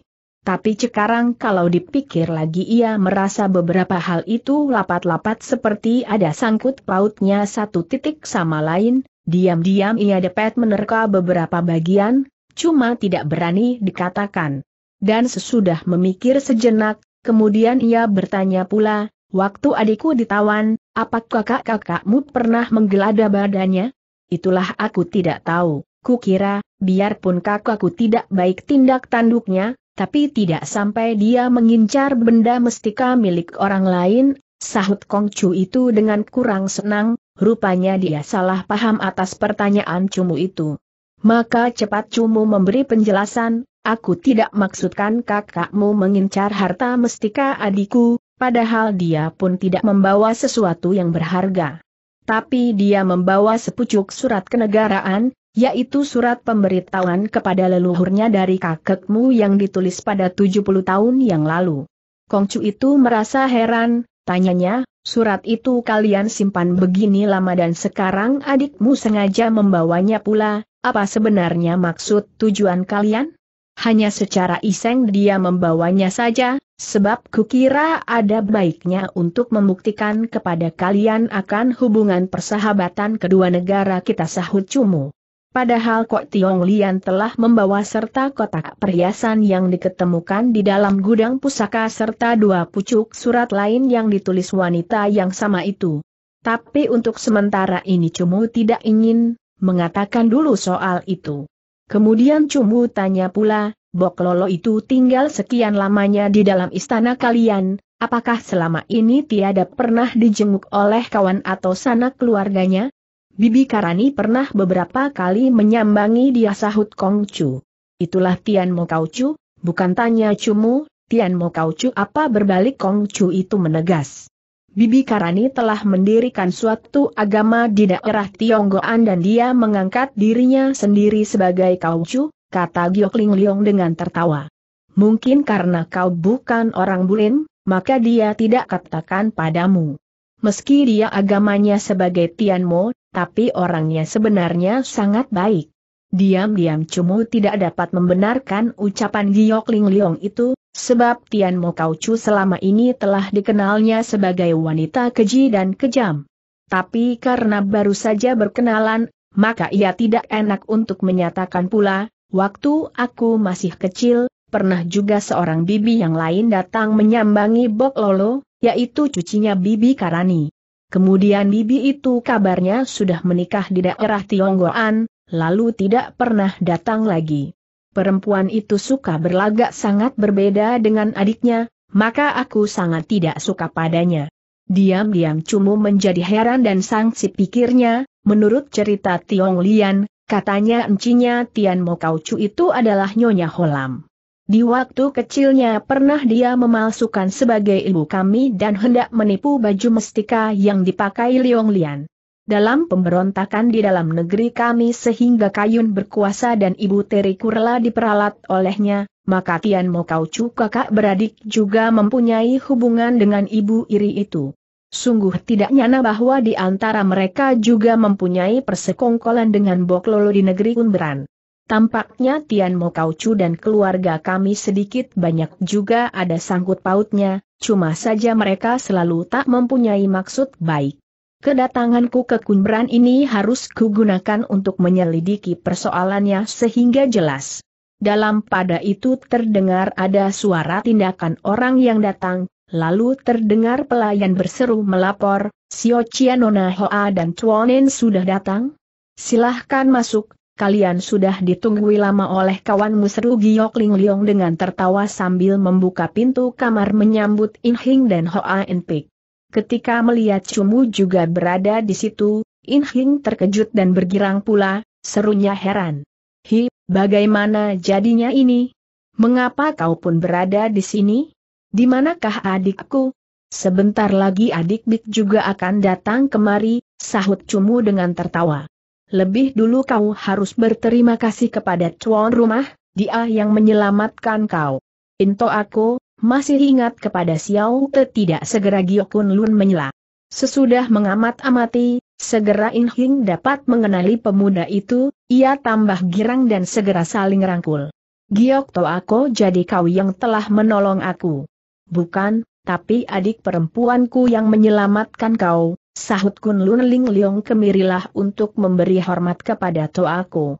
Sejak masuk ke dalam kamar Hoa Pik juga terus mengamat-amati Giok Ling Leong, sekarang tiba-tiba ia berkata, Buk, bukankah engkau adalah nona baju putih yang selalu berada di simpingku itu, apakah, apakah ini bukan dalam mimpi? Kau telah keracunan yang disemburkan ular salju itu dan aku telah mengobati kau, sahut Ling Leong. Sekarang kau sudah sembuh betul-betul dan takkan kumat lagi. Baru sekarang Inpik tahu siapa yang telah menyelamatkan jiwanya, segera ia menyatakan terima kasihnya yang tak terhingga.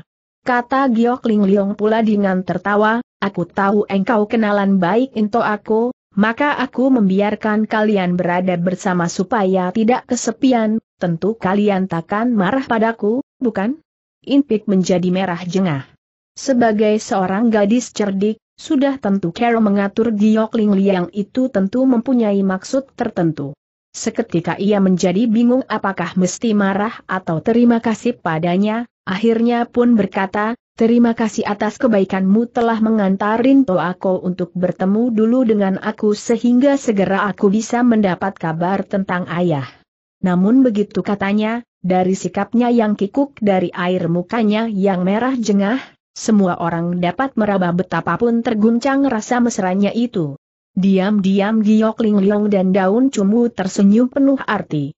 Yang seorang berpikir, usahaku ini sembilan bagian pasti jadilah angpau bagi seorang comblang pasti akan kuterima kelak. Sedangkan Cumu berpikir, dengan demikian, maka perasaan Kang Suheng yang tertekan dapatlah dibebaskan. Sebaliknya In Hing tidak memperhatikan percakapan kawan-kawannya itu, ia lagi asyik bicara sendiri dengan Giok Kun Lun maklum, pertemuan sobat lama secara tidak terduga-duga sudah tentu membuatnya heran dan girang, maka berulang-ulang ia telah tanya duduknya perkara kepada Giok Kun Lan. Sejak aku berkunjung ke tempat kediamanmu, kemudian aku pun ada suatu pengalaman aneh. Dan paling akhir ini aku telah pergi ke kota Raja Kunbran, demikian tutur Kunlun nanti dulu, coba ceritakan pengalaman aneh apakah si benarnya tanya Inhing. Tapi Giok Kunlun tidak menjawab, ia memandang sekejap ke arah Kongcu kerajaan Kunbran itu seperti hendak menceritakan, tapi ragu-ragu. Melihat kelakuannya itu, diam-diam Min Hing sudah dapat menerka beberapa bagian. Maka dengan tertawa Giok Ling Leong telah berkata, Kongcu bolehkah aku mewakilkan kalian untuk menceritakan pada mereka? Putri kerajaan Kunbran tidak terikat oleh adat istiadat kolot bangsahan, maka dia tidak merasa kikuk sedikit pun. Sebaliknya ia berkata dengan tertawa, baiklah, boleh kau katakan saja, kenapa menjadi rikuh? Maka Giok Ling Leong bercerita, tidak lama sesudah Koko kembali dari kunjungannya Lai Cui In Cheng kalian, pada suatu hari Kong Chu dengan pengiringnya satu regu prajurit telah mengadakan pemburuan di kaki gunung sini dan kebetulan ketemukan seekor badak yang sangat ganas. Kulit badak sangat tebal dan tidak mempan dipanah maupun dibacok dengan golok, jika binatang itu sedang mengamuk maka tanduknya pun menghancurkan batu, bahkan jauh lebih menakutkan daripada singa maupun harimau, karena itu prajurit pengiring Kongcu itu sibuk melindungi tuan puterinya dengan menghujani badak itu dengan anak panah maksudnya menghalau binatang itu. Mendadak badak itu mengamuk dan menerjang ke arah Kongcu itu dan beruntun-runtun melukai beberapa pengawalnya. Pada saat sangat berbahaya itu kebetulan Koko lewat di situ dan akhirnya dapat menundukkan badak yang sangat ganas itu Kong Chu menjadi sangat senang dan minta Koko menjadi pengawal pribadinya. Dan Koko ternyata tega mengesampingkan aku, kontan dia terima permintaan Kong Chu itu, sesudah pulang juga aku tidak diberi tahu tentang hal itu tapi sekarang aku pun merasa senang karena Koko telah membawa pulang seorang unso yang begini cantik. Ya sesudah dia menjadi pengawalku tapi aku yang telah membuat dia mengalami sesuatu bencana, ujar Kong Chu sambil mergela napas. Tidak, sebaliknya akulah yang membuat susah padamu, kata Gyokun Lun. Dan sekarang kejadian itu sudah lampau kalian juga tidak perlu saling sungkan-sungkan, ujar Ling Leong dengan tertawa. Kemudian Kong Chu melanjutkan ceritanya, bicara tentang peristiwa itu, harus diakui Bibi Karani yang telah memberi banyak bantuan. Aku bersahabat baik dengan Giok To aku adalah di luar tahu kakakku. Belakangan Raja Nepali yang digulingkan itu telah lari menyelamatkan diri ke tempat kami dengan suatu pasukan pengawalnya yang cukup kuat, Koko ingin menggunakan tenaga mereka, maka dia telah mengadakan perjanjian rahasia dengan Raja Pelarian itu tentang saling membantu, bahkan aku dipaksa untuk menikah dengan putra Raja Pelarian itu. Sudah tentu aku menolak dengan tegas, Koko menjadi marah, di samping mengawasi tindak tandukku, diam-diam ia menyelidiki pula keadaannya, maka tidak lama hubunganku dengan Giok aku dapat diketahuinya. Dia memikirkan tipu muslihat, Suatu hari Giok Toako sengaja diminta ikut berburu dengan Koko. Ketika Giok Toako berhasil membunuh seekor harimau, Koko pura-pura memberi selamat padanya dan mengajak minum satu cawan arak. Tapi di dalam arak diam-diam diberi siulo sopunsan, puyar pelunak tulang, yang merupakan obat mujizat dari kerajaan kami, sesudah minum obat itu, Seketika tenaga orang biarpun setinggi langit ilmu silatnya juga tak berguna lagi dan sesudah Giak Toako ditangkap, lalu Koko berkata padanya, sekarang cuma ada dua jalan yang boleh kau pilih, hidup atau mati jika ingin hidup, maka aku akan menghadiahkan seorang Kiongli, Dayang Keraton, untuk menjadi istrimu dan hubungan Dergan Kongcu harus diputuskan. Kalau tidak maka aku akan hukum mati kau, tapi tanpa ragu-ragu Giok Toako lantas pilih dihukum mati saja. Mestinya Koko bermaksud menggunakan dia untuk membujuk aku agar menuruti maksud tujuannya, maka seketika ia pun tidak berani membunuh Giok Toako. Segera ia dimasukkan penjara dengan harapan sesudah tersiksa tentu kelak akan menurut. Beberapa hari kemudian, kebetulan Bibi Karani berkunjung lagi ke tempatku. Waktu itu aku sudah mengetahui tentang dipenjarakannya Giok Toako maka aku telah minta tolong padanya. Tapi Bibi Karani tidak berani menyalahi Bok Lolo maka tidak dapat membantu aku melarikan diri, tapi ia mau berusaha mengeluarkan Giok Toako dari penjara ia minta aku memberikan obat penawar. Obat penawar itu dengan mudah dapat kucuri dari Amari Koko dan malam itu juga dia menyampaikannya kepada Giok Toako di penjara, cuma dia meninggalkan catatan pula agar Giok Toako baru boleh melarikan diri pada hari besoknya saja, kemudian kami mengetahui maksud Bibi Karani berbuat demikian, untuk renang hindarkan curiga Bok Lolo atas dirinya. Begitulah dengan kepandaian Bibi Karani yang tinggi, tanpa diketahui seorang pun dia telah dapat masuk ke dalam penjara. Sesudah Giok Toako dapat memulihkan tenaganya tentang melarikan diri dari penjara sudah tentu bukan soal sulit lagi baginya. Besoknya juga di hadapan sipir bui ia meremas patah borgol yang kenakan di tangannya itu, lalu tinggal pergi, dengan seenaknya, para penjaga penjara cukup tahu betapa lihai Giok. Toako, maka tiada seorang pun yang berani merintangi dia. Sesudah Giok Toako melarikan diri diam-diam Bibi Karani telah menemuinya dan menasehatinya agar dia jangan menyerempet bahaya masuk keraton. Giok Toako juga tahu bukan tandingannya Bok Lolo, maka ia telah minta advis kepada Bibi. Tentang memberi hadiah kepada Bok Lolo dan melarikan diriku dengan bantuan Kim Soan, semuanya itu atas advis Bibi Karani. Sungguh menggelikan juga kalau diceritakan, demikian Giok Kun Lun menyambung dengan tertawa. Mestinya aku adalah buronan yang harus ditangkap, tapi ketika aku mengiring utusan kepada Bok Lolo untuk menyatakan bahwa aku bersedia memberikan setangkai bunga secantik dalam salju, kepadanya dengan syarat asal dapat bertemu dengan Kongcu, Ternyata dia lantas terima dengan baik bahkan berjanji akan memberi banyak kebebasan padaku dikalau aku masuk ke dalam keraton. Hal itu adalah karena dia terlalu sombong, kau tak pandang sebelah mata olehnya, kata Kongcu dengan tertawa. Sama sekali ia tidak menduga bahwa kalau aku membawa serta Kim Soan dan melarikan diriku di depan hidungnya.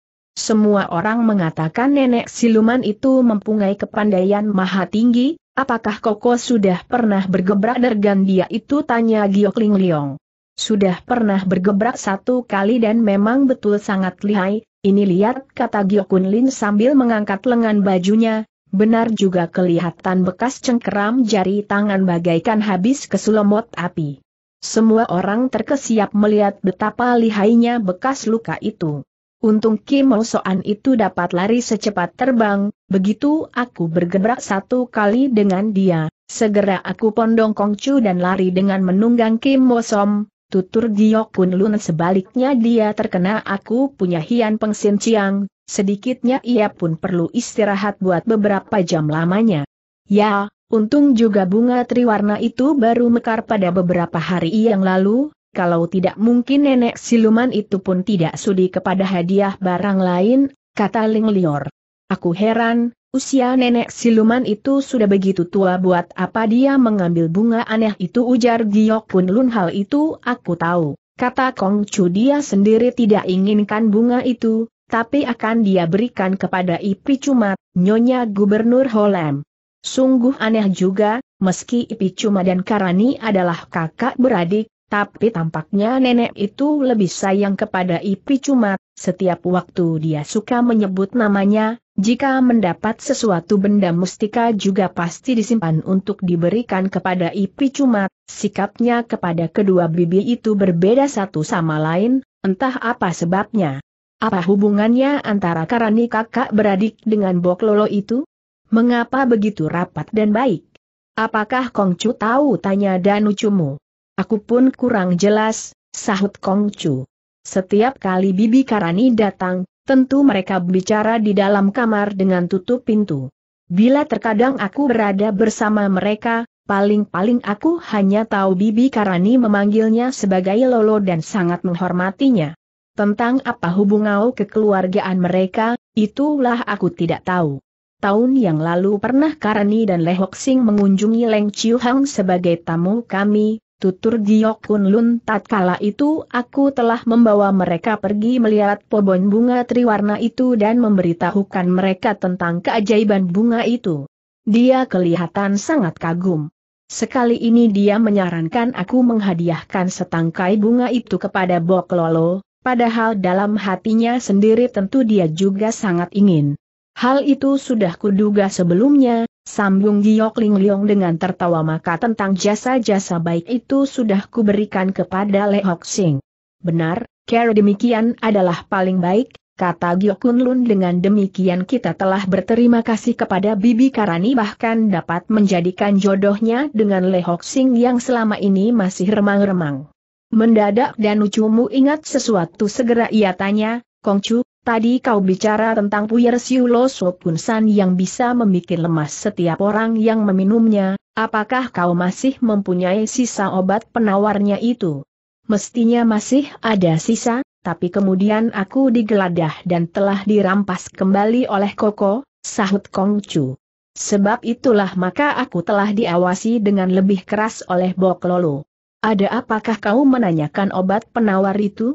Sebab aku menyangsikan adik perempuanku jangan-jangan juga terkena racun itu, kata Cumu Kongcu pernah bertemu dengan adikku, apakah dapat kau melihat tanda-tanda keracunannya itu?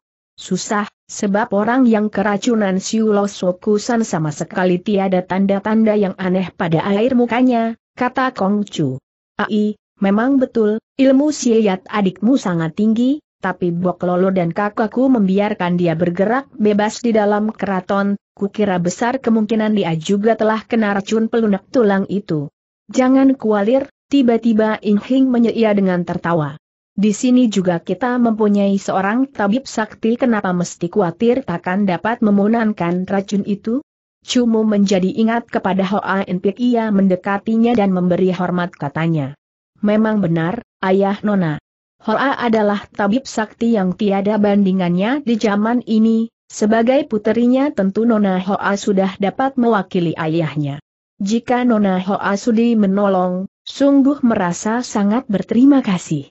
Jika Tiong Lian dapat diberi obat penawar maka muslihat mereka dengan menggunakan dia sebagai sandera pastilah akan gagal. Kantong obatku sih masih ada, tapi sesuatu penyakit harus diperiksa dahulu baru dapat diberi obat yang jitu, ujar Rinpik.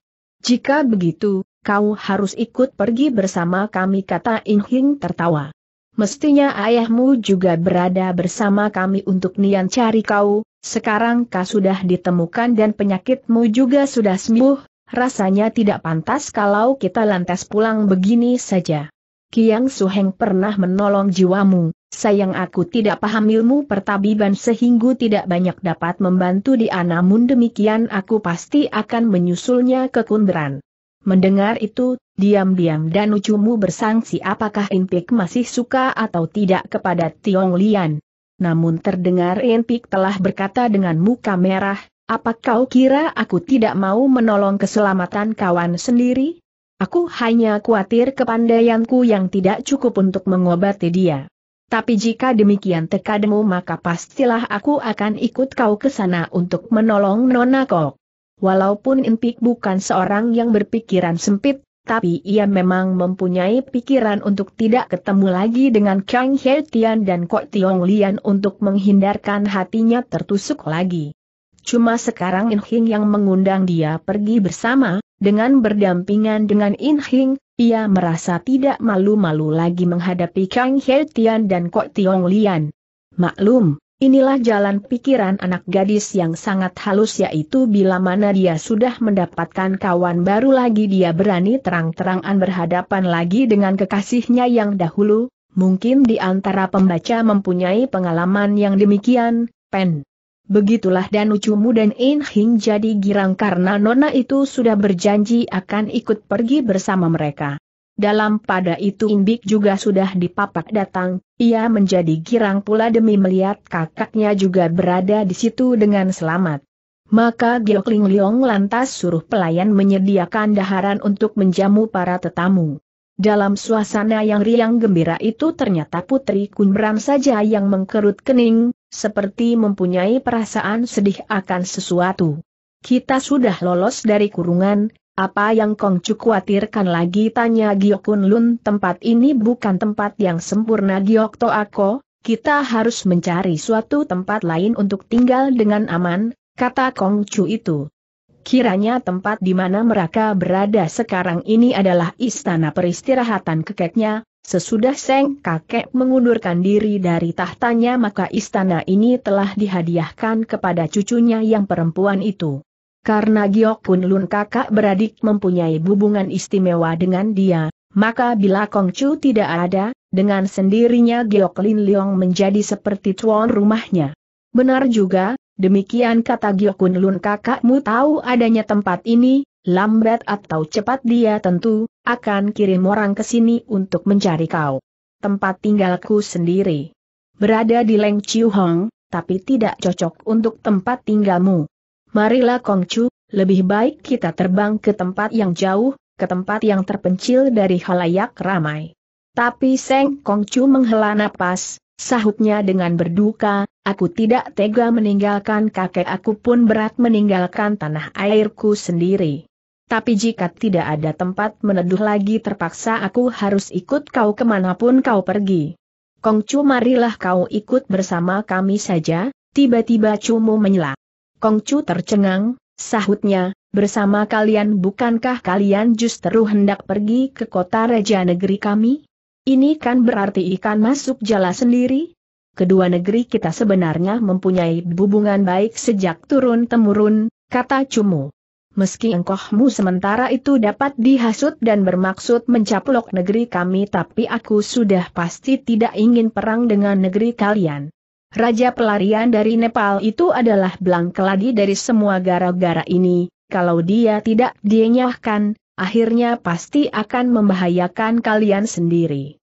Sebab itulah aku ingin menasehatkan engkohmu agar insaf, untuk ini aku yakin pasti akan berhasil.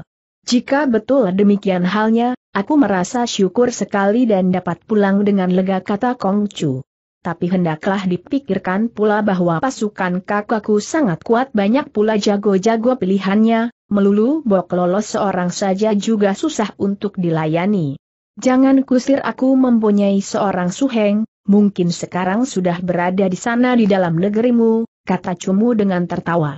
Apabila terpaksa mesti digunakan kekerasan, maka Bok Lolo itu pasti bukan tandingan suhengku, hal ini harap kau jangan khawatir. Dan aku mempunyai akal, dengan sedikit kepandaianku nanti aku merubah muka Kongcu, tanggung kau tidak akan dikenal lagi kata Enpik. Itulah lebih baik dengan demikian setiba di sana kita bisa lantas bergerak menurut keadaan kata Cumu. Jika Nona Hoa mahir ilmu mengubah rupa maka kami kakak beradik juga berani ikut pergi, untuk ini harap Nona Hoa suka membantu sekalian, pinta Giok Kun Lun begitulah maka dengan bantuan Hoa Enpik, kemudian Giok Kun Lun kakak beradik Kong Chu itu dirias sedemikian rupa sehingga susah untuk dikenal lagi. Habis itu, besoknya mereka lantas berangkat menuju ke kota raja. Diam-diam perasaan Inpik menjadi bergolak pikirnya, entah Herian masih teringat padaku atau tidak. Ai, saat ini mungkin dia sudah bertemu dengan Kok Tiong Lian. Ya, semoga hidup mereka selalu akan bahagia untuk selamanya, dengan demikian aku pun tidak perlu kesal lagi. Tatkala itu Kang Tian masih dalam perjalanan, dari jauh dinding benteng kota Raja Kunbran itu sudah kelihatan. Sesudah mengalami kejadian luar biasa di puacak Leng Chiu Hong, keselamatan In Hing dan lain-lain belum diketahui, maka dalam hatinya sangat berduka. Jika Hoa In Pik sedang memikirkan dia, maka ia pun sedang mengenapkan In Pik, Semoga adik Pik dapat terangkap jodoh dengan pemuda baju putih itu, dengan demikian aku tidak perlu merasa masgul lagi. Pegunungan Atrai itu melingkar-lingkar memanjang seperti ular, sampai di situ, pegunungan Arai itu telah bertemu dengan cabang pegunungan Tiansan sebelah utara, di tengah tangkupan lereng gunung itu terdapat sebuah dataran, itulah negeri Kunberan. Ibu kota Kunberan itu bernama Singgasar tempatnya dibangun membelakangi lereng gunung sehingga kedudukannya sangat strategis. Diam-diam Hetian membatin, tempat ini sedemikian baiknya, jika Raja Kunberan mau hidup berdikari maka dia sebenarnya dapat hidup aman, dan makmur, tapi dia justru masih kurang puas dan ingin mencari perkara pada negeri tetangga, sungguh terlalu bodoh.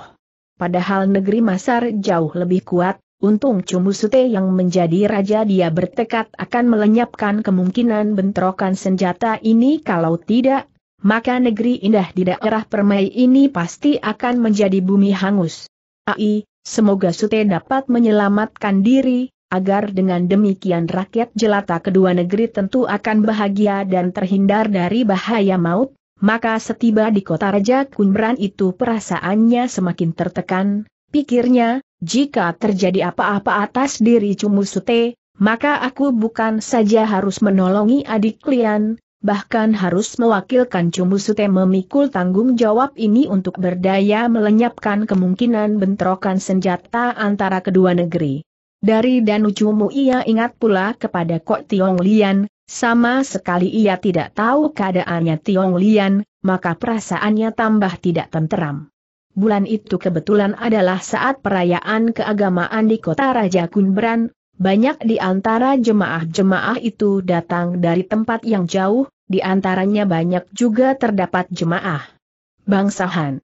Maka Hetian telah membeli dupa dan lilin seperlunya, ia pun bergelar sebagai jemaah yang hendak sembahyang ke kuil kerajaan.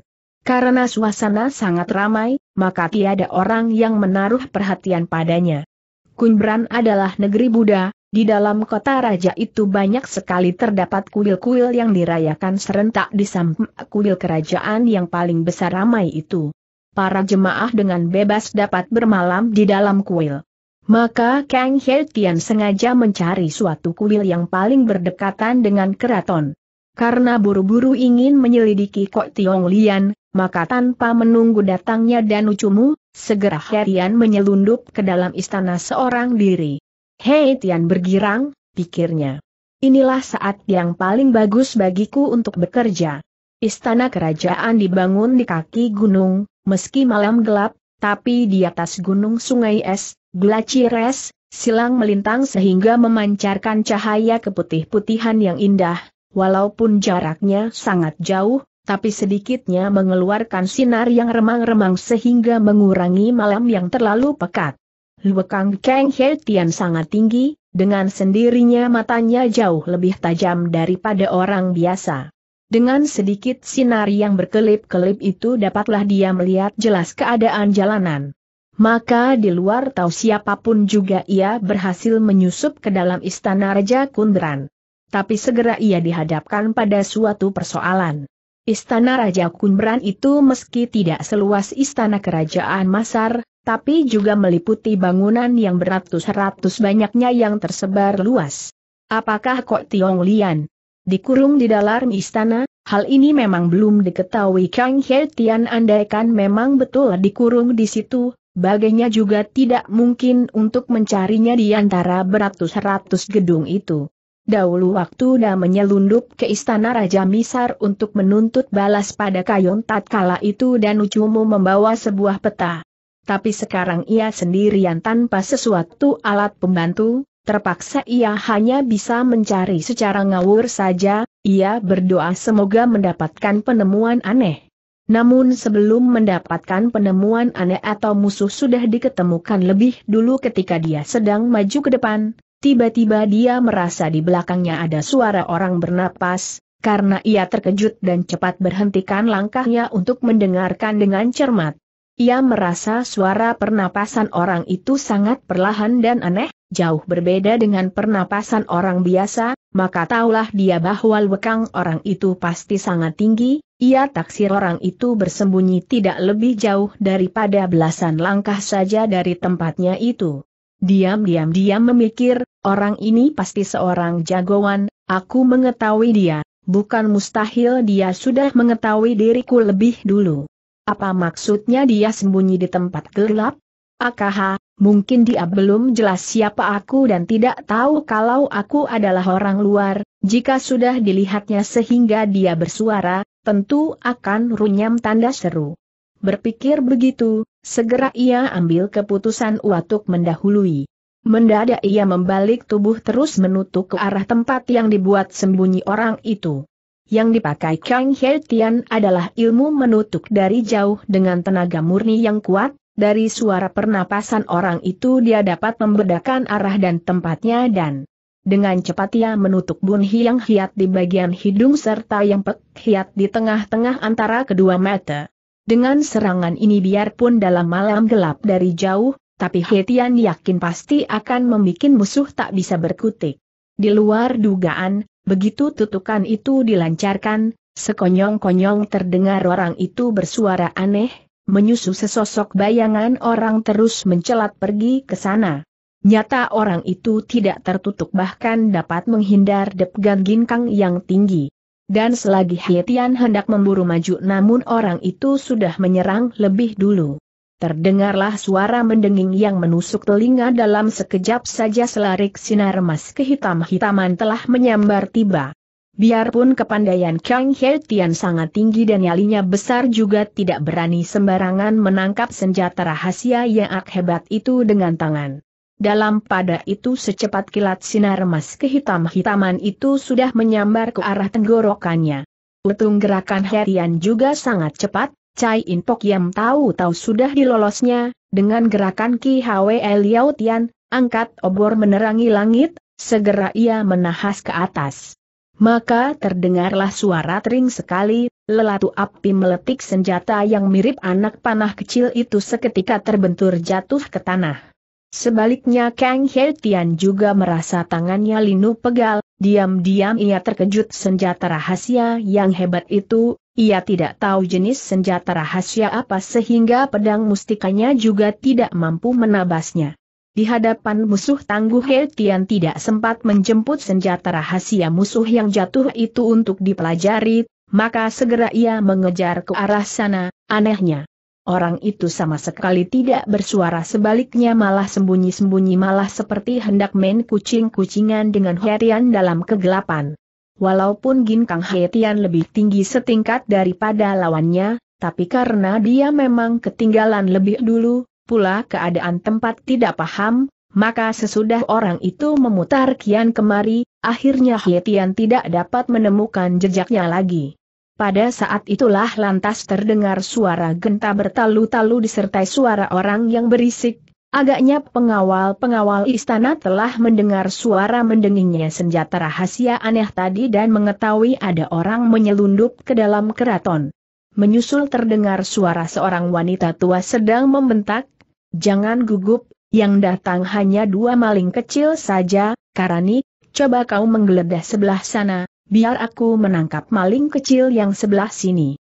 Diam-diam Herian terkejut akan kelihayan nenek itu, Ternyata di tengah suara ramai itu toh dapat membedakan tempat di mana aku berada. Di dalam keraton ini terdapat tokoh selihai ini, ditambah lagi lelaki pertama tadi tampaknya usahaku malam ini pasti akan gagal. Meski si nenek telah menyebut ada dua maling kecil, tapi Kang He Tian ternyata anggap lelaki pertama tadi adalah jago pengawal keraton, ia menaksir, si nenek telah salah duga akan kawan sendiri di dalam kegelapan. Dari itu He Tian merasa bila dikerubut oleh kedua orang itu mungkin susah untuk meloloskan diri. Ia pikir daripada Nani terjungkal, lebih baik sekarang kabur lebih dulu untuk menunggu datangnya dan ucumu dan lain kali akan mengunjungi keraton lagi tapi baru saja dia hendak angkat langkah seribu, sekonyong-konyong terdengar suara mencicit, sebatang panah berapi telah menyambar ke arahnya dan melayang lewat di atas kepalanya. Panah berapi itu gunanya untuk penerangan, maka baru saja Kang He Tian melompat keluar dari tempat sembunyinya hendak kabur. Namun ia segera dapat dipergoki. Orang banyak tahu-tahu seorang nenek yang rambutnya sudah beruban secepat kilat telah menerjang tiba-tiba. Dan belum mendekat orangnya sekonyong-konyong sudah terdengar suara berhamburnya amgi atau senjata rahasia. Suara senjata rahasia itu berdengung-dengung memekakkan telinga, sekali dengar saja segera orang akan tahu jumlah senjata rahasia itu sedikitnya ada belasan buah. Hei Tian sudah merasakan lihainya lelaki pertama tadi, sekarang mendengar suara sambaran senjata rahasia ini bahkan lebih keras daripada tadi, keruan ia terkejut. Jika sebuah senjata tadi sudah begitu berat untuk menangkisnya, apalagi sekarang si nenek sekaligus menghamburkan belasan buah, maka susahlah untuk dilayani. Dalam pada itu sinar gemerlap tampak sudah menghambur dari berbagai penjuru, kiranya senjata rahasia itu berbentuk Kim Goan sebanyak 12 buah. Cepat Kang Tian putar pedangnya untuk melindungi badannya, maka terdengarlah serentetan suara nyaring gemerincing, sebagian besar gelang emas yang terbentur pedang itu telah hancur berkeping-keping dan jatuh ke tanah. Legalah Bati Tian. Ternyata senjata rahasia si nenek meski berjumlah banyak, datangnya juga sungai mengejutkan orang, tapi daya serangannya ternyata jauh lebih lemah daripada sebuah senjata rahasia orang pertama. Di luar dugaan, baru saja Herayan merasa lega, mendadak ada tiga buah gelang emas yang menyambar dari atas menembus garis putaran pedangnya. Cepat Hetian menunduk ke depan dan membiarkan punggungnya terancam. Maka terdengarlah suara plak-plok tiga kali, ketiga gelang emas itu kena semua di punggung Hetian, tapi ia mempunyai ilmu pelindung tubuh sehingga ketiga gelang emas itu kena tergetar jatuh. Namun begitu tenaga serangan gelang-gelang emas itu ternyata tidak lemah, sehingga sakitnya tidak kepalang walaupun tidak sampai terluka. Carol melepaskan amgi atau senjata rahasia nenek itu bukan saja sangat keras, bahkan sangat aneh gayanya, sebagian bisa berputar-putar di atas untuk kemudian baru menyambar ke bawah, sungguh suatu kerok yang belum pernah dilihat oleh Kang Tian. Karena ia terkesiap sekali. Lat tahu bahwa justru si nenek bahkan jauh lebih terkejut daripada dia. Nenek bukan lain adalah Bok Lolo yang diangkat sebagai Kim Lun Sengbo oleh Raja Kunbran itu. Selama hidupnya jarang ketemu tandingan. Kedua belas buah gelang emas itu adalah senjata rahasia andalannya yang paling lihai sungguh tidak nyana dengan mudah telah kena dihancurkan semua oleh seorang pemuda yang lak terkenal asal-usulnya. Bahkan tiga buah di antaranya yang sudah terang mengenai sasarannya tapi tahu-tahu tergetar jatuh semua dan sasarannya tanpa terluka sedikit pun, keruan hal ini membuat Bok Lolo terkejut. Biasanya Bok Lolo tidak sembarangan menggunakan kedua belas buah gelang emas itu. Karena dilihatnya gerak-gerik Kang Tian sangat luar biasa, ia tidak berani memandang enteng padanya, namun dengan dua belas buah galang emas itu pun ia merasa agak berlebihan siapa tahu kekuatan King Tian ternyata jauh lebih hebat daripada sangkaannya. Diam Bok Lolo memikir jika bocah ini dibiarkan beberapa tahun lagi maka akan lebih lihai daripada sekarang seketika timbul nafsu membunuhnya, begitu memburu maju, segera ia mendahului menghantam dengan telapak tangannya. Cepat Hian menangkis serangan itu, jarak mereka ada lebih 2 meter, tapi serangan tangkisan Hetian itu toh membawa angin pukulan yang dahsyat sehingga debu pasir bertebaran. Berulang Bok Lolo tergetar mundur dua tindak karena benturan tenaga pukulan, keruan kejutnya bertambah hebat dan cepat ia menghantam pula. Hei Tian sendiri juga tergeliat sedikit. Lapun terkesiap, pikirnya. Meski nenek siluman ini belum memadai pos yang Hoatsu tapi kepandaiannya ini pun sudah cukup menguncangkan dunia persilatan. Jika aku tidak makan Tian Sim Chok pasti aku tidak sanggup melawannya, Tiba-tiba ia merasa jalan pernapasannya agak terganggu, hawa murni dalam tubuh tidak lancar bergeraknya, maka ketika pukulan kedua dilancarkan, tenaganya sudah berkurang daripada pukulan pertama tadi. Sekali ini Kang Tian yang tergetar mundur tiga tindak. Menyusul itu secepat kilat pukulan ketiga si nenek sudah tiba pula. Sekali ini lebih aneh lagi, Angin pukulannya membawa hawa panas seperti api unggun tak berwujud yang membakar ke arah Yetian, ia merasa tenggorokan kering dan mulutnya sepat, sayup-sayup terendus bawa mis pula. Keruan kejutnya tidak kepalang, pikirnya, pukulan nenek siluman ini bukan saja sangat kuat, bahkan berbisa pula.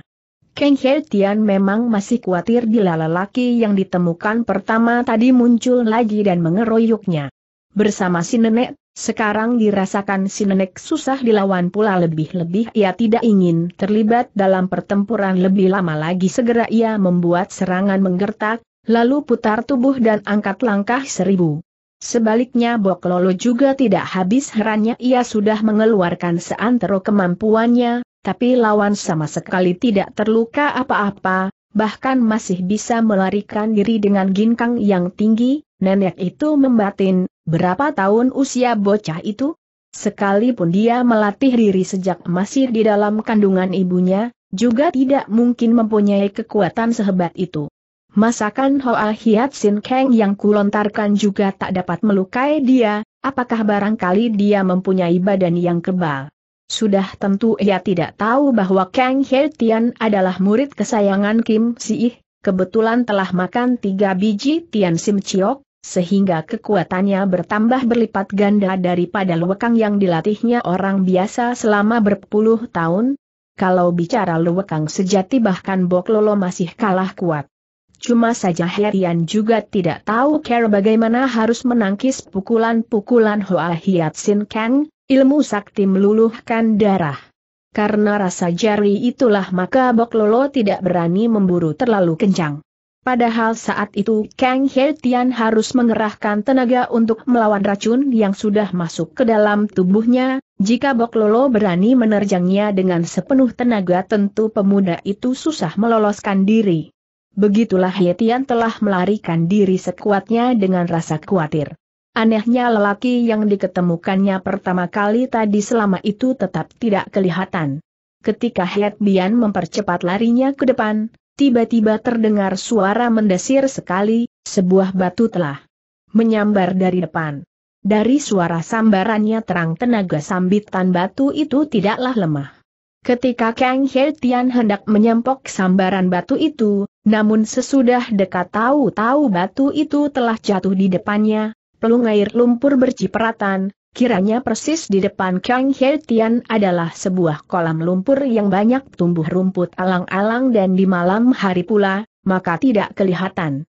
Di hati Tian bersyukur tidak sampai kejeblos ke dalam kolam lumpur itu, bila batu tadi tidak tepat datang pada waktunya, dikala berlari tentu ia tak memperhatikan akan kolam lumpur itu. Hei Tian heran juga mengapa batu itu hanya jatuh di depannya, padahal daya sambarannya sangat keras, apa barangkali penimpuk batu itu sengaja hendak memperingatkan dirinya tentang adanya kolam lumpur itu. Namun Tian tidak sempat memikir lagi, ia harus melarikan diri lebih dulu. Di bawah refleksi cahaya cair yang kemilau remang-remang kelihatan di seberang kolam sana ada sesosok bayangan yang sembunyi di tengah semak kerumputi sekilas pandang Herian dapat mengenali adalah seorang wanita sesudah lebih dekat lagi lapat-lapat muka orang juga dapat dikenali. Seketika Herian terkesiap. Kiranya wanita itu bukan lain adalah Tian Mokaucu. Tanpa bicara lagi segera pedang Kang Hetian menusuk. Tapi Tian Mo Chu menggunakan seutas selendang sutra untuk menangkis sambil mendamprat dengan suara tertahan, kau bocah yang tidak kenal gelagat mengapa tidak lekas lari. Dan di mana sinar pedang berkelebat? Tahu-tahu selendang sutra sudah terpapas sepatong ketika Herian melontarkan pukulan mendadak. Tian Mo Chu berteriak, Ailihai juga dan berbareng ia pun mengegos ke samping sehingga memberi tempat luang untuk Kang Hate Tian melarikan diri. Semula Tian masih khawatir Tian Mokaucu akan menyerangnya dengan senjata rahasia berbisa, tapi ternyata tidak. Bahkan terdengar Bok Lolo sedang berseru di belakang sana, Karani, apakah kau terluka dan karena itu juga maka dia tidak mengejar lebih jauh. Tidak lama kemudian Kang He Tian telah dapat melarikan diri keluar keraton.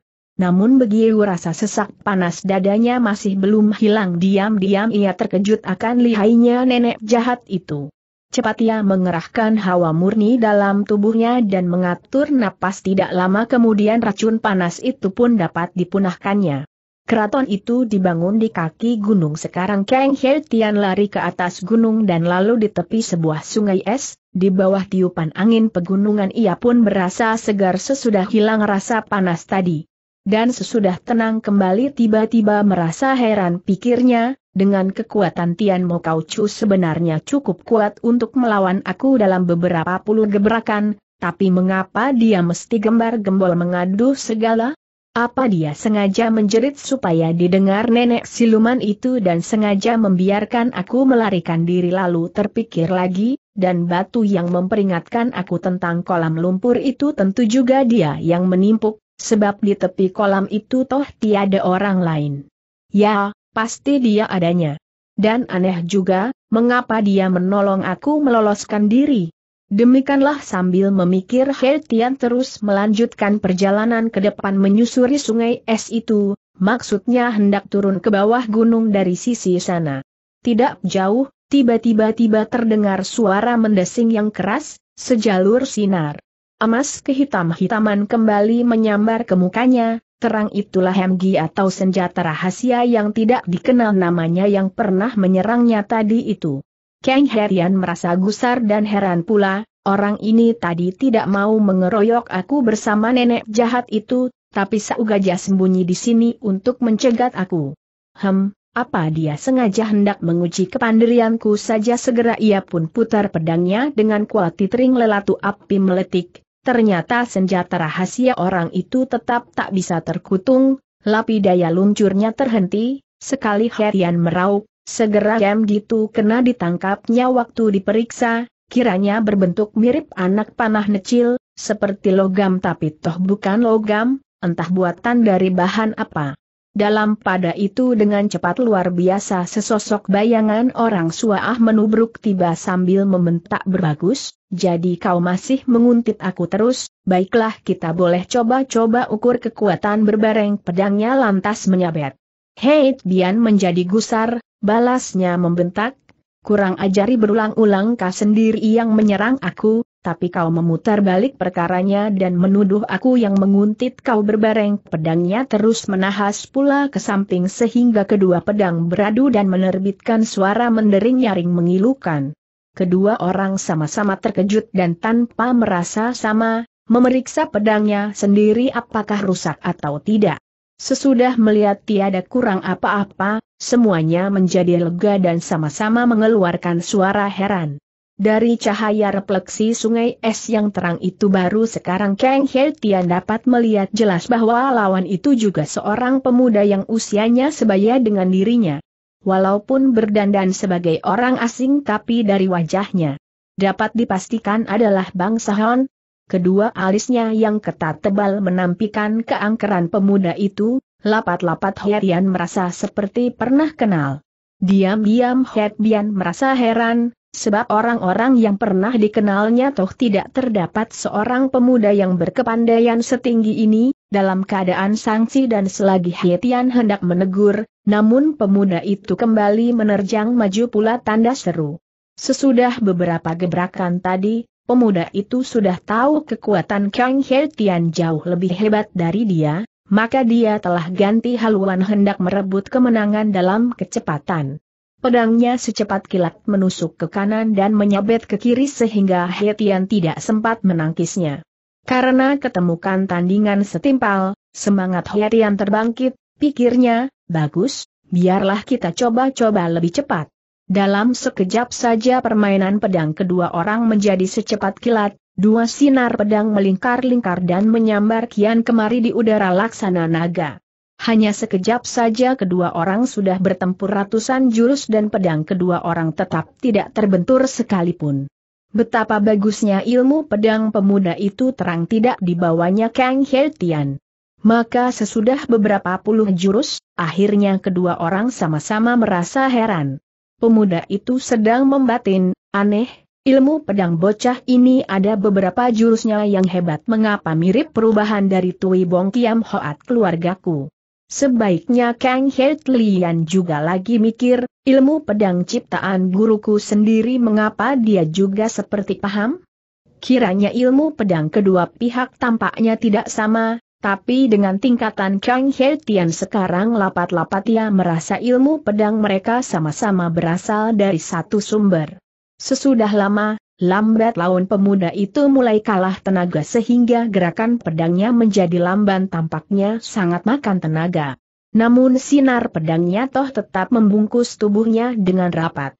Hei Tian tambah heran, terang ilmu pedang yang dimainkan pemuda itu sekarang adalah Tai Simikiam Hoat yang pernah juga dipelajari dari gurunya.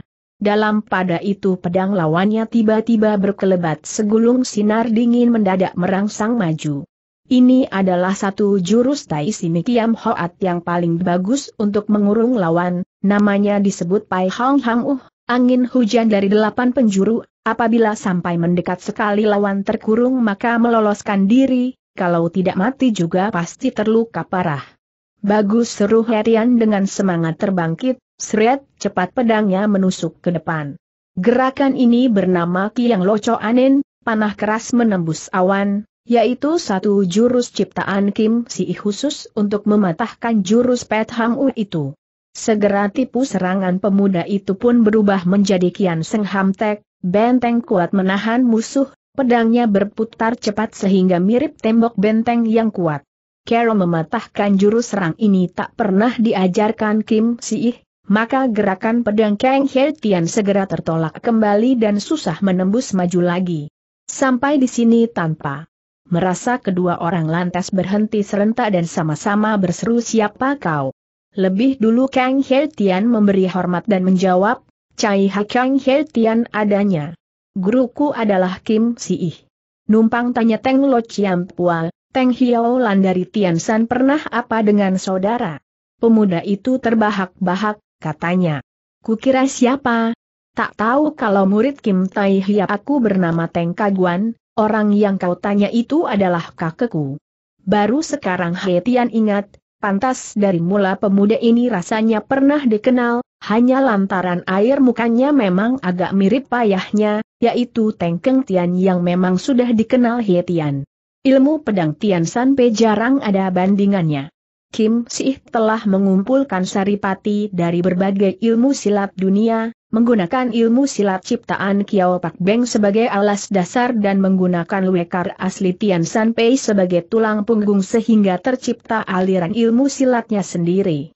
Sebagai keturunan jago silat, dasar Tengkaguan memang juga gila silat, maka segera, ia tanya, pedang yang digunakan Keng Heng ini tentu adalah salah satu pusaka Kiao Pak Beng yang bernama Cai LN Po Kiam, bukan?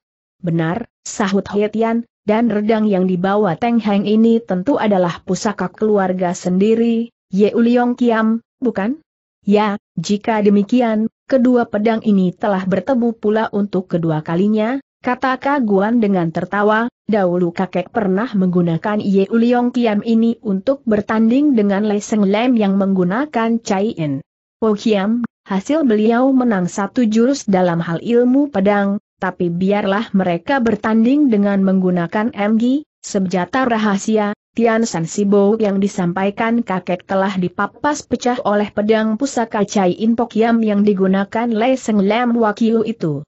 Baru sekarang juga Kang Herian mengetahui bahwa MG atau senjata rahasia yang aneh bentuknya tadi bukan lain adalah Tian San Sibong, sejenis dari tumbuh-tumbuhan, yang tersohor itu. Gurumu, Kim Tai Hiap adalah sahabat kami turun-temurun, kakekku juga sering membicarakan beliau, ujar Kaguan.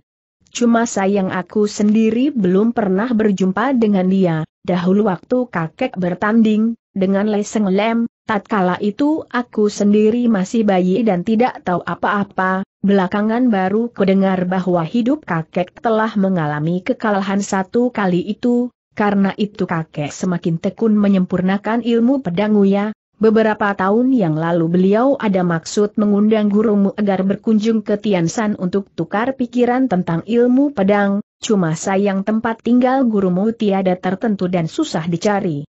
Hari ini aku dapat jumpa dengan Kang Heng, sungguh beruntung sekali. Ilmu pedang Kang Heng tadi dapat memecahkan gerakan Pet Hang Hang Uh yang kumainkan tadi, sungguh aku merasa sangat kagum. Begitulah kaguan menjadi senang dan masgul pula. Maklum, Sebelumnya ia merasa Tian San Kiam Hoat keluarganya itu tentu sudah mencapai tingkatan yang tiada taranya, siapa duga sekarang telah dapat sejurus oleh Kang He Tian. Maka He Tian telah menjawab, ilmu pedang ajaran guruku ini pada hakikatnya juga bersumber dari ilmu pedang. Golongan kalian. Padahal jurus Kiang Locoan ini yang saudara mainkan tadi juga luar biasa bagusnya, sungguh aku merasa kagum tak terkatakan. Kaguan menjadi gembira, katanya, jurus itu bernama Kian Seng Bantek, adalah ciptaan kakek sesudah bertanding dengan Lei Seng Lem dan selama ini belum pernah digunakan. Ternyata kedua pemua pemuda itu sangat cocok satu sama lain, terutama Teng Kaguan ia menjadi suka kepada Kar Hertian yang berkepandaian tinggi, tapi rendah hati, maka katanya kemudian, gurumu dan keluarga kami adalah sahabat lama, kita sekarang adalah sahabat angkatan ketiga, untuk lebih mengakrabkan hubungan kita, aku bermaksud mengangkat saudara dengan Kang Heng, entah bagaimana pendapat Kang Heng. Hei Tian jadi girang, sahutnya, itulah yang sangat kuharapkan. Jika Teng Heng Sudi sungguh Xiao Te merasa beruntung sekali. Lalu mereka saling memberi hormat dan menyembah kepada Tuhan sebagai sumpah setia. Bicara tentang umur, ternyata Teng Kaguan lebih tua setahun, maka Herian memanggilnya sebagai Toako. Habis itu, masing-masing lantas menceritakan pengalaman sendiri-sendiri. Kiranya kedatangan Teng Kaguan ini adalah atas perindah Raja baru Nepal untuk menyelidiki jejak Raja lama yang telah melarikan diri itu. Kata Kaguan, Menurut berita yang diterima katanya Raja Lalim itu telah lari ke negeri Kunbran dan bersekongkol dengan rajanya. Selama raja pelarian ini tidak ditumpas selama itu Nepal akan selalu terancam bahaya. Sudah beberapa hari aku sampai di sini, tapi belum dapat keterangan yang pasti, maka malam ini sengaja menyelidiki ke dalam keraton dan tanpa sengaja telah bergebrak dengan Kang Hyante. Paman dan Bibi sudah pergi semua ke Nepal, Apakah Toako belum bertemu dengan beliau itu tanya Hietiari. Dari mana Hyante tahu tanya Kaguan agak tercengang. Ketika di Orsim pernah aku bertemu dengan ayah dan Bunda Toako, kata Herian kami bersama-sama mengunjungi pertemuan Kim Eng Kyong di negara Masar. Habis itu, dengan disertai paman Tantian Ih dan bibi pengberamai-ramai mereka lantas berangkat ke Nepal, Begitulah ia menceritakan secara ringkas kejadian-kejadian dahulu. Bibi Peng, maksudnya Yeu Peng istri Tantian Ih, memangnya adalah bekas dayang ibuku, beliau mendapat perintah Raja Nepal yang baru untuk pulang ke Tiongkok mengundang ibuku, tapi sampai aku berangkat ke sini masih belum nampak beliau pulang. Boleh jadi kami telah berselisih jalan sehingga tidak ketemu, dan sesudah memikir sejenak, Lalu Kaguan melanjutkan. Jika mereka sudah sampai di Kathmandu tentu akan segera mengetahui berita dariku maksud Raja Nepal yang baru mengundang ibuku ialah ingin minta bantuan beliau untuk amankan kerusuhan di dalam negeri. Sekarang bekas Raja Lalim itu sudah lari ke sini aku pun mendapat perintah Raja untuk mengikuti jejaknya. Jika ibu tahu hal ini, tentu beliau akan menyusul kemari dan kalau dihitung waktunya mungkin tidak terlalu lama beliau tentu bisa sampai di sini. Sekali ayah dan ibu sudah datang, biarpun tambah seorang nenek siluman lagi juga tidak perlu takut, maka kita boleh tunggu dulu beberapa hari, sesudah ayah dan ibu datang barulah kita berunding cara menghadapi musuh. Tapi Kang Tian hanya diam saja tanpa menjawab. Entah apa yang dipikirkan Hyante, tanya Kaguan. Sesungguhnya Xiao Te mempunyai seorang kawan, yaitu adik perempuan Suteku dia telah mengalami kesukaran dan saat ini mungkin sekali terkurung di dalam keraton, selama dia belum bisa lolos dari tempat bahaya, betapapun Xiao Te merasa tidak tenteram, demikian tutur Hetian. Lalu ia pun menceritakan perselisihan antara negeri Masar dan Kunbran yang ruwet itu sehingga membuat Kaguan juga merasa heran sekali. Jika demikian, putri kerajaan Masar kiranya adalah murid Kok Chiang Bun dari Bin San Pei dan dengan sendirinya adalah sahabat terdekat Tian San Pei kami, kata Kaguan. Jika Hyante buru-buru ingin menolong dia sudah tentu aku tak bisa tinggal diam. Maka bolehlah besok malam saja kita coba-coba menerjang ke sarang harimau musuh. Hei Tian merenung sejenak, lalu berkata, Toako, lebih baik kau menunggu datangnya paman dan bibi saja besok malam biar aku sendiri yang pergi menyelidiki sarang musuh. Kaguan menjadi kurang senang, sahutnya, kita sudah angkat saudara, seharusnya senang dirasakan bersama dan susah dipikul berbareng, Mana boleh kau menghadapi bahaya sendirian? Toako sendiri mempunyai tugas penting, maka Xiao Te tidak ingin membuat repot Toako hanya karena urusan pribadiku, ujar Tian. Kau sudah bertempur melawan nenek siluman itu, betapakah lihainya masakan kita berdua bukan tandingannya berdua tanya Kaguan. Kalau bicara kepandaian sejati, walaupun Xiao Te tidak yakin dapat menang, tapi juga tidak jeri padanya, sahut He. Tian. Cuma dia punya pukulan berbisa memang sangat lihai jangankan kena dipukul, cukup angin pukulannya saja sudah membuat orang merasa napas sesak dan panas seperti dipanggang sehingga susah mengerahkan tenaga lagi. Sayang. Sayang El kata kaguan tiba-tiba. Sayang apa tanya Hiet Bian. Sebenarnya aku mempunyai setangkai Tian San Suat, teratai salju Tian San Suat Lian, yang dapat memunahkan segala macam racun, sayang telat kuberikan orang ketika berada di Nepal tutur kaguan. Hei Tian juga tahu akan khasiat Tian San Suat Lian itu tapi dari mana bisa didapatkan secara mendadak maka akhirnya ia berkata, To aku, biarlah kita pulang dulu ke pondokan. Sesudah kaguan ikut Hei Tian kembali ke kuil di mana dia bermalam. Buru saja Hetian melangkah masuk ke dalam kamarnya, tiba-tiba tampak di atas mejanya tertaruh sebuah pot bunga dan di dalam pot bunga itu tertancap setangkap bunga yang indah, segar bau wangi. Terperanjat ia heran siapakah yang bergurau dengan dia dan menghantarkan bunga seindah itu. Ia tidak tahu bahwa Teng Kaguan jauh lebih terkejut sehingga terkesima memandangi bunga di atas meja itu sejenak kemudian tiba-tiba ia berseru, Ai, mengapa Hyante tidak katakan sejak tadi?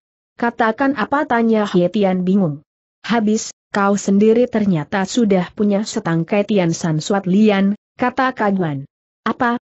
Kau, kau maksudkan bun, bunga ini, i. Benar, bunga inilah Tian San Suat Lian adanya, kata Kaguan. Dari mana kau memperolehnya? Mengapa kau sendiri tidak tahu? Ini bukan milikku, bahkan aku pun baru melihatnya, sahut Tian. Sungguh aneh, Tian San Suat Lian adalah mestika yang diharapkan setiap orang persilatan, mengapa boleh sembarangan diberikan kepada orang, ujar Kaguan. Segera Herian melompat keluar kamar ia melayang ke atas rumah dan coba memeriksa sekitar kuil itu, tapi tiada bayangan seorang pun yang kelihatan, dengan heran ia kembali ke dalam kamarnya. Masih ada sesuatu yang lebih aneh, kata Kaguan kemudian, coba lihat bunga yauk masih segar ini, bukankah seperti barusan dipetik. Walaupun Suat Lian ini tahan 10 hari untuk tidak layu tapi jarak Tian San dari sini ada ribuan li jauhnya, masakah pembawa bunga ini dapat mencapainya di dalam waktu 10 hari L?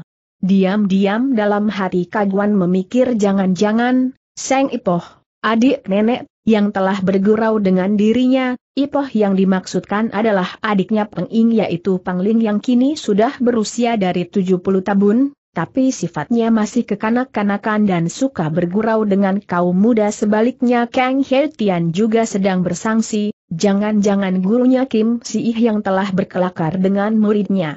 Kemudian Kaguan berkata dengan tertawa. Pendek kata adanya suat lian ini kebetulan dapat kita pergunakan malam nanti.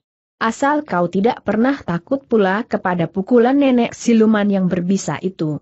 Apalagi kekuatan Hyante sekarang tampaknya sudah tidak di bawah suhumu di waktu dulu, ditambah adanya suat lian ini, malam ini tanggung kau dapat membalas sakit hati sekali pukulan nenek jahat itu. Diam-diam Hetian membatin, membalas sakit hati adalah soal kedua, asal Lian Moai dapat diselamatkan, maka cukuplah bagiku. Begitulah Tian San Suat Lian itu lantas disimpan dengan baik. ia menjadi girang dan tidak sabar pula ia ingin malam lekas tiba agar bersama Kaguan dapat menerjang ke dalam ke dalam keraton lagi.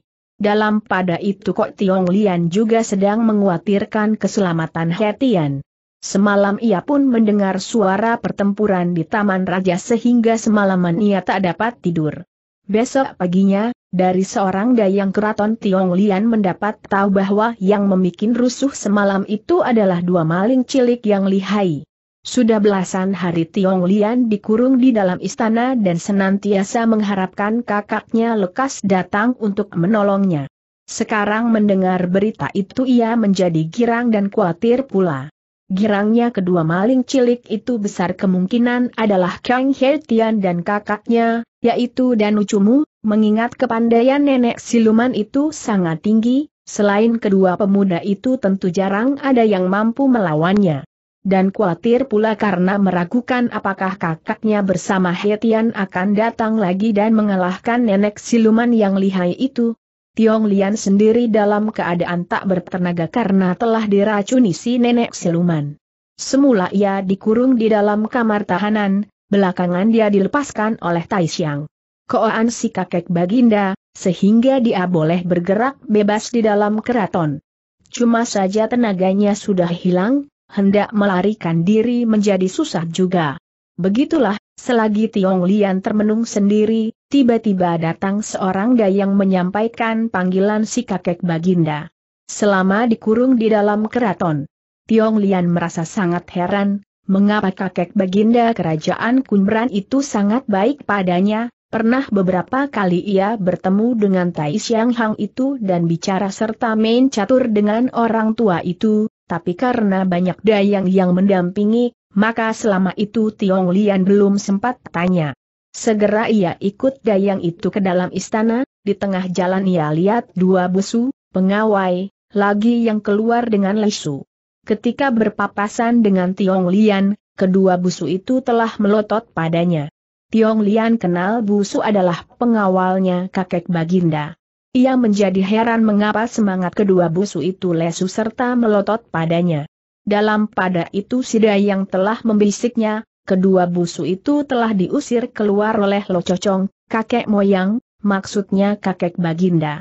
Sebab apa tanya Tiong, Lian, tadi, Pagilo Cocong uring-uringan, katanya dia sengaja mengundurkan diri dan minta pensiun tujuannya ialah ingin hidup tentram dan bebas, tapi Sri Baginda sengaja mengirim pengawal untuk selama menguntit ke mana beliau pergi sehingga beliau mirip tawanan saja. Sebab itulah beliau minta kedua pengawal dipindahkan dan selanjutnya tidak perlu diberi pengawal segala. Oh, kiranya begitu, kata Tiong Lian.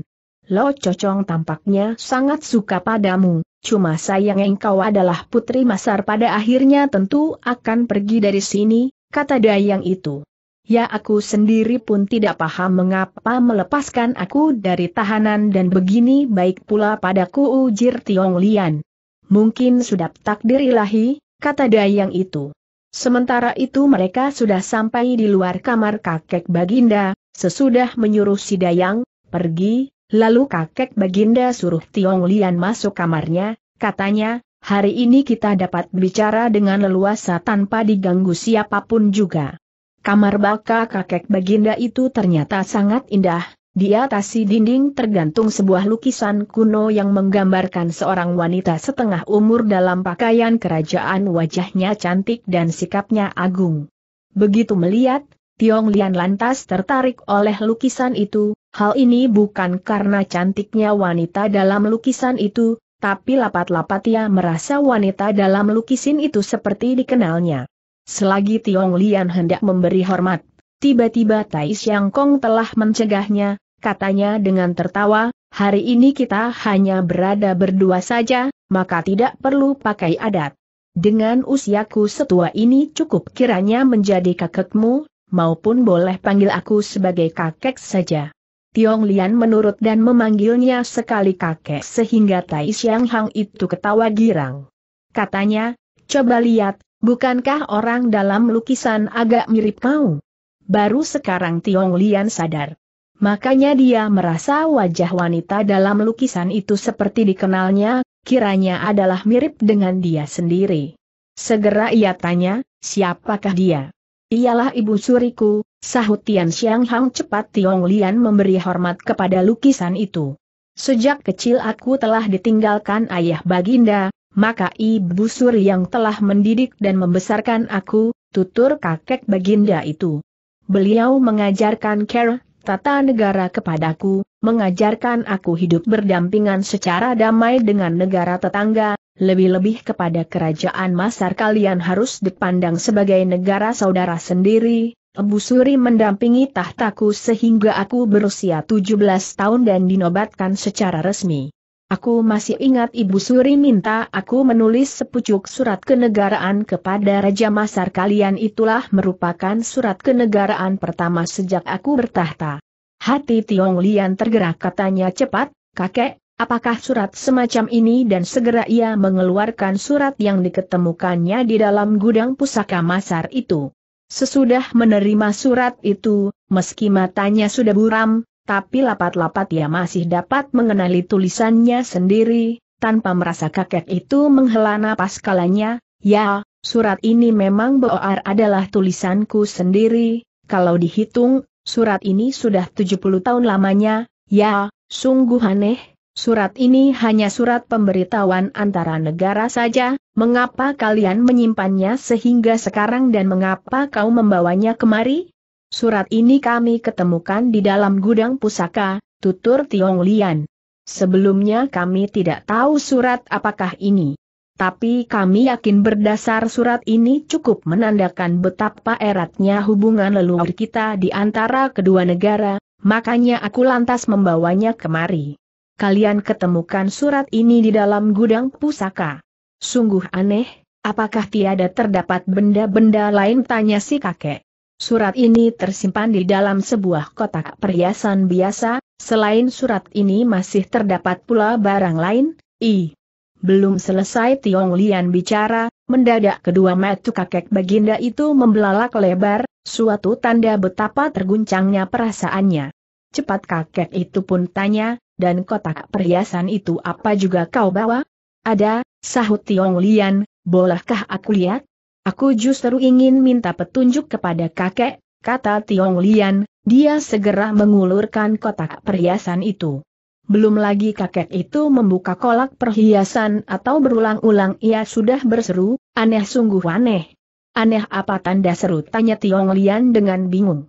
Kakek itu tidak menjawab, sesudah memikir sejenak, tiba-tiba ia membuka almarinya dan mengeluarkan sebuah kotak, katanya, coba lihat, bukankah serupa satu sama lain? Seru Tiong Lian. Kakek, mengapa kau pun menyimpan sebuah kotak perhiasan rakyat jelata seperti ini tanda seru? Benda ini adalah tinggalan ibu suriku sahut kakek baginda. Tiong Lian menjadi tercengang dan timbul macam-macam pertanyaan, ia lihat orang tua itu telah membuka kotak perhiasan, lebih dulu mengeluarkan sisir dan cermin, sisir buatan dari kayu dan cermin buatan perunggu yang sudah guram. Sisir dan cermin seperti itu adalah barang-barang wanita dari kalangan rakyat jelata, sedikit pun tiada suatu yang aneh, tapi demi memegang benda-benda itu, kakek itu lantas termangu-mangu sejenak kemudian baru dia berkata, kuingat waktu kecil aku suka melihat ibu menyisir rambut, sisir dan cermin yang digunakan ibu adalah benda-benda ini. Tadinya kusangka ibu berasal dari kalangan rakyat jelata, karena sudah biasa, maka barang lama sayang untuk dibuang. Tapi, ai, kalau dipikir sekarang, sampai sini ia tidak melanjutkan lagi. Tapi Tiong Lian sudah dapat menerka bahwa kakek itu sekarang pun timbul rasa curiga mengenai barang-barang yang tadinya dianggap sepele itu sebenarnya mempunyai cerita yang belum diketahui. Kemudian kakek baginda mengambil kedua surat yang tersimpan dalam kotak perhiasan itu dan tanya. Surat siapa lagi ini? Bolehkah kulihat? Aku pun tidak tahu surat siapa, sabut Tiong Lian. Menurut Koko, Surat ini seperti surat cinta seorang wanita. Kakek Baginda tampak termangu-mangu sejenak, lalu ia mengambil surat-surat itu tangannya kelihatan gemetar. Sesudah membaca kedua pucuk surat ini air mata pun tampak berlinang-linang. Kenapa kau, kakek tanya Tiong Lian? Apakah yang tertulis di dalam surat? Janganlah merasa sedih. Aku tidak sedih. Coba, kemarilah kau, kata kakek, lalu ia memeluk Tiong Lian yang telah mendekatnya itu dan menyambung dengan terharu, usiaku sudah lanjut, sebelah kakinya sudah melangkah ke liang kubur, tapi baru hari ini aku tahu akan asal-usul diriku sendiri. Sungguh aku merasa sangat senang dan berterima kasih kepadamu yang telah membongkar rahasia diriku ini. Lian Ji, tentu kau pun tidak pernah duga bahwa kita sebenarnya adalah orang sekeluarga.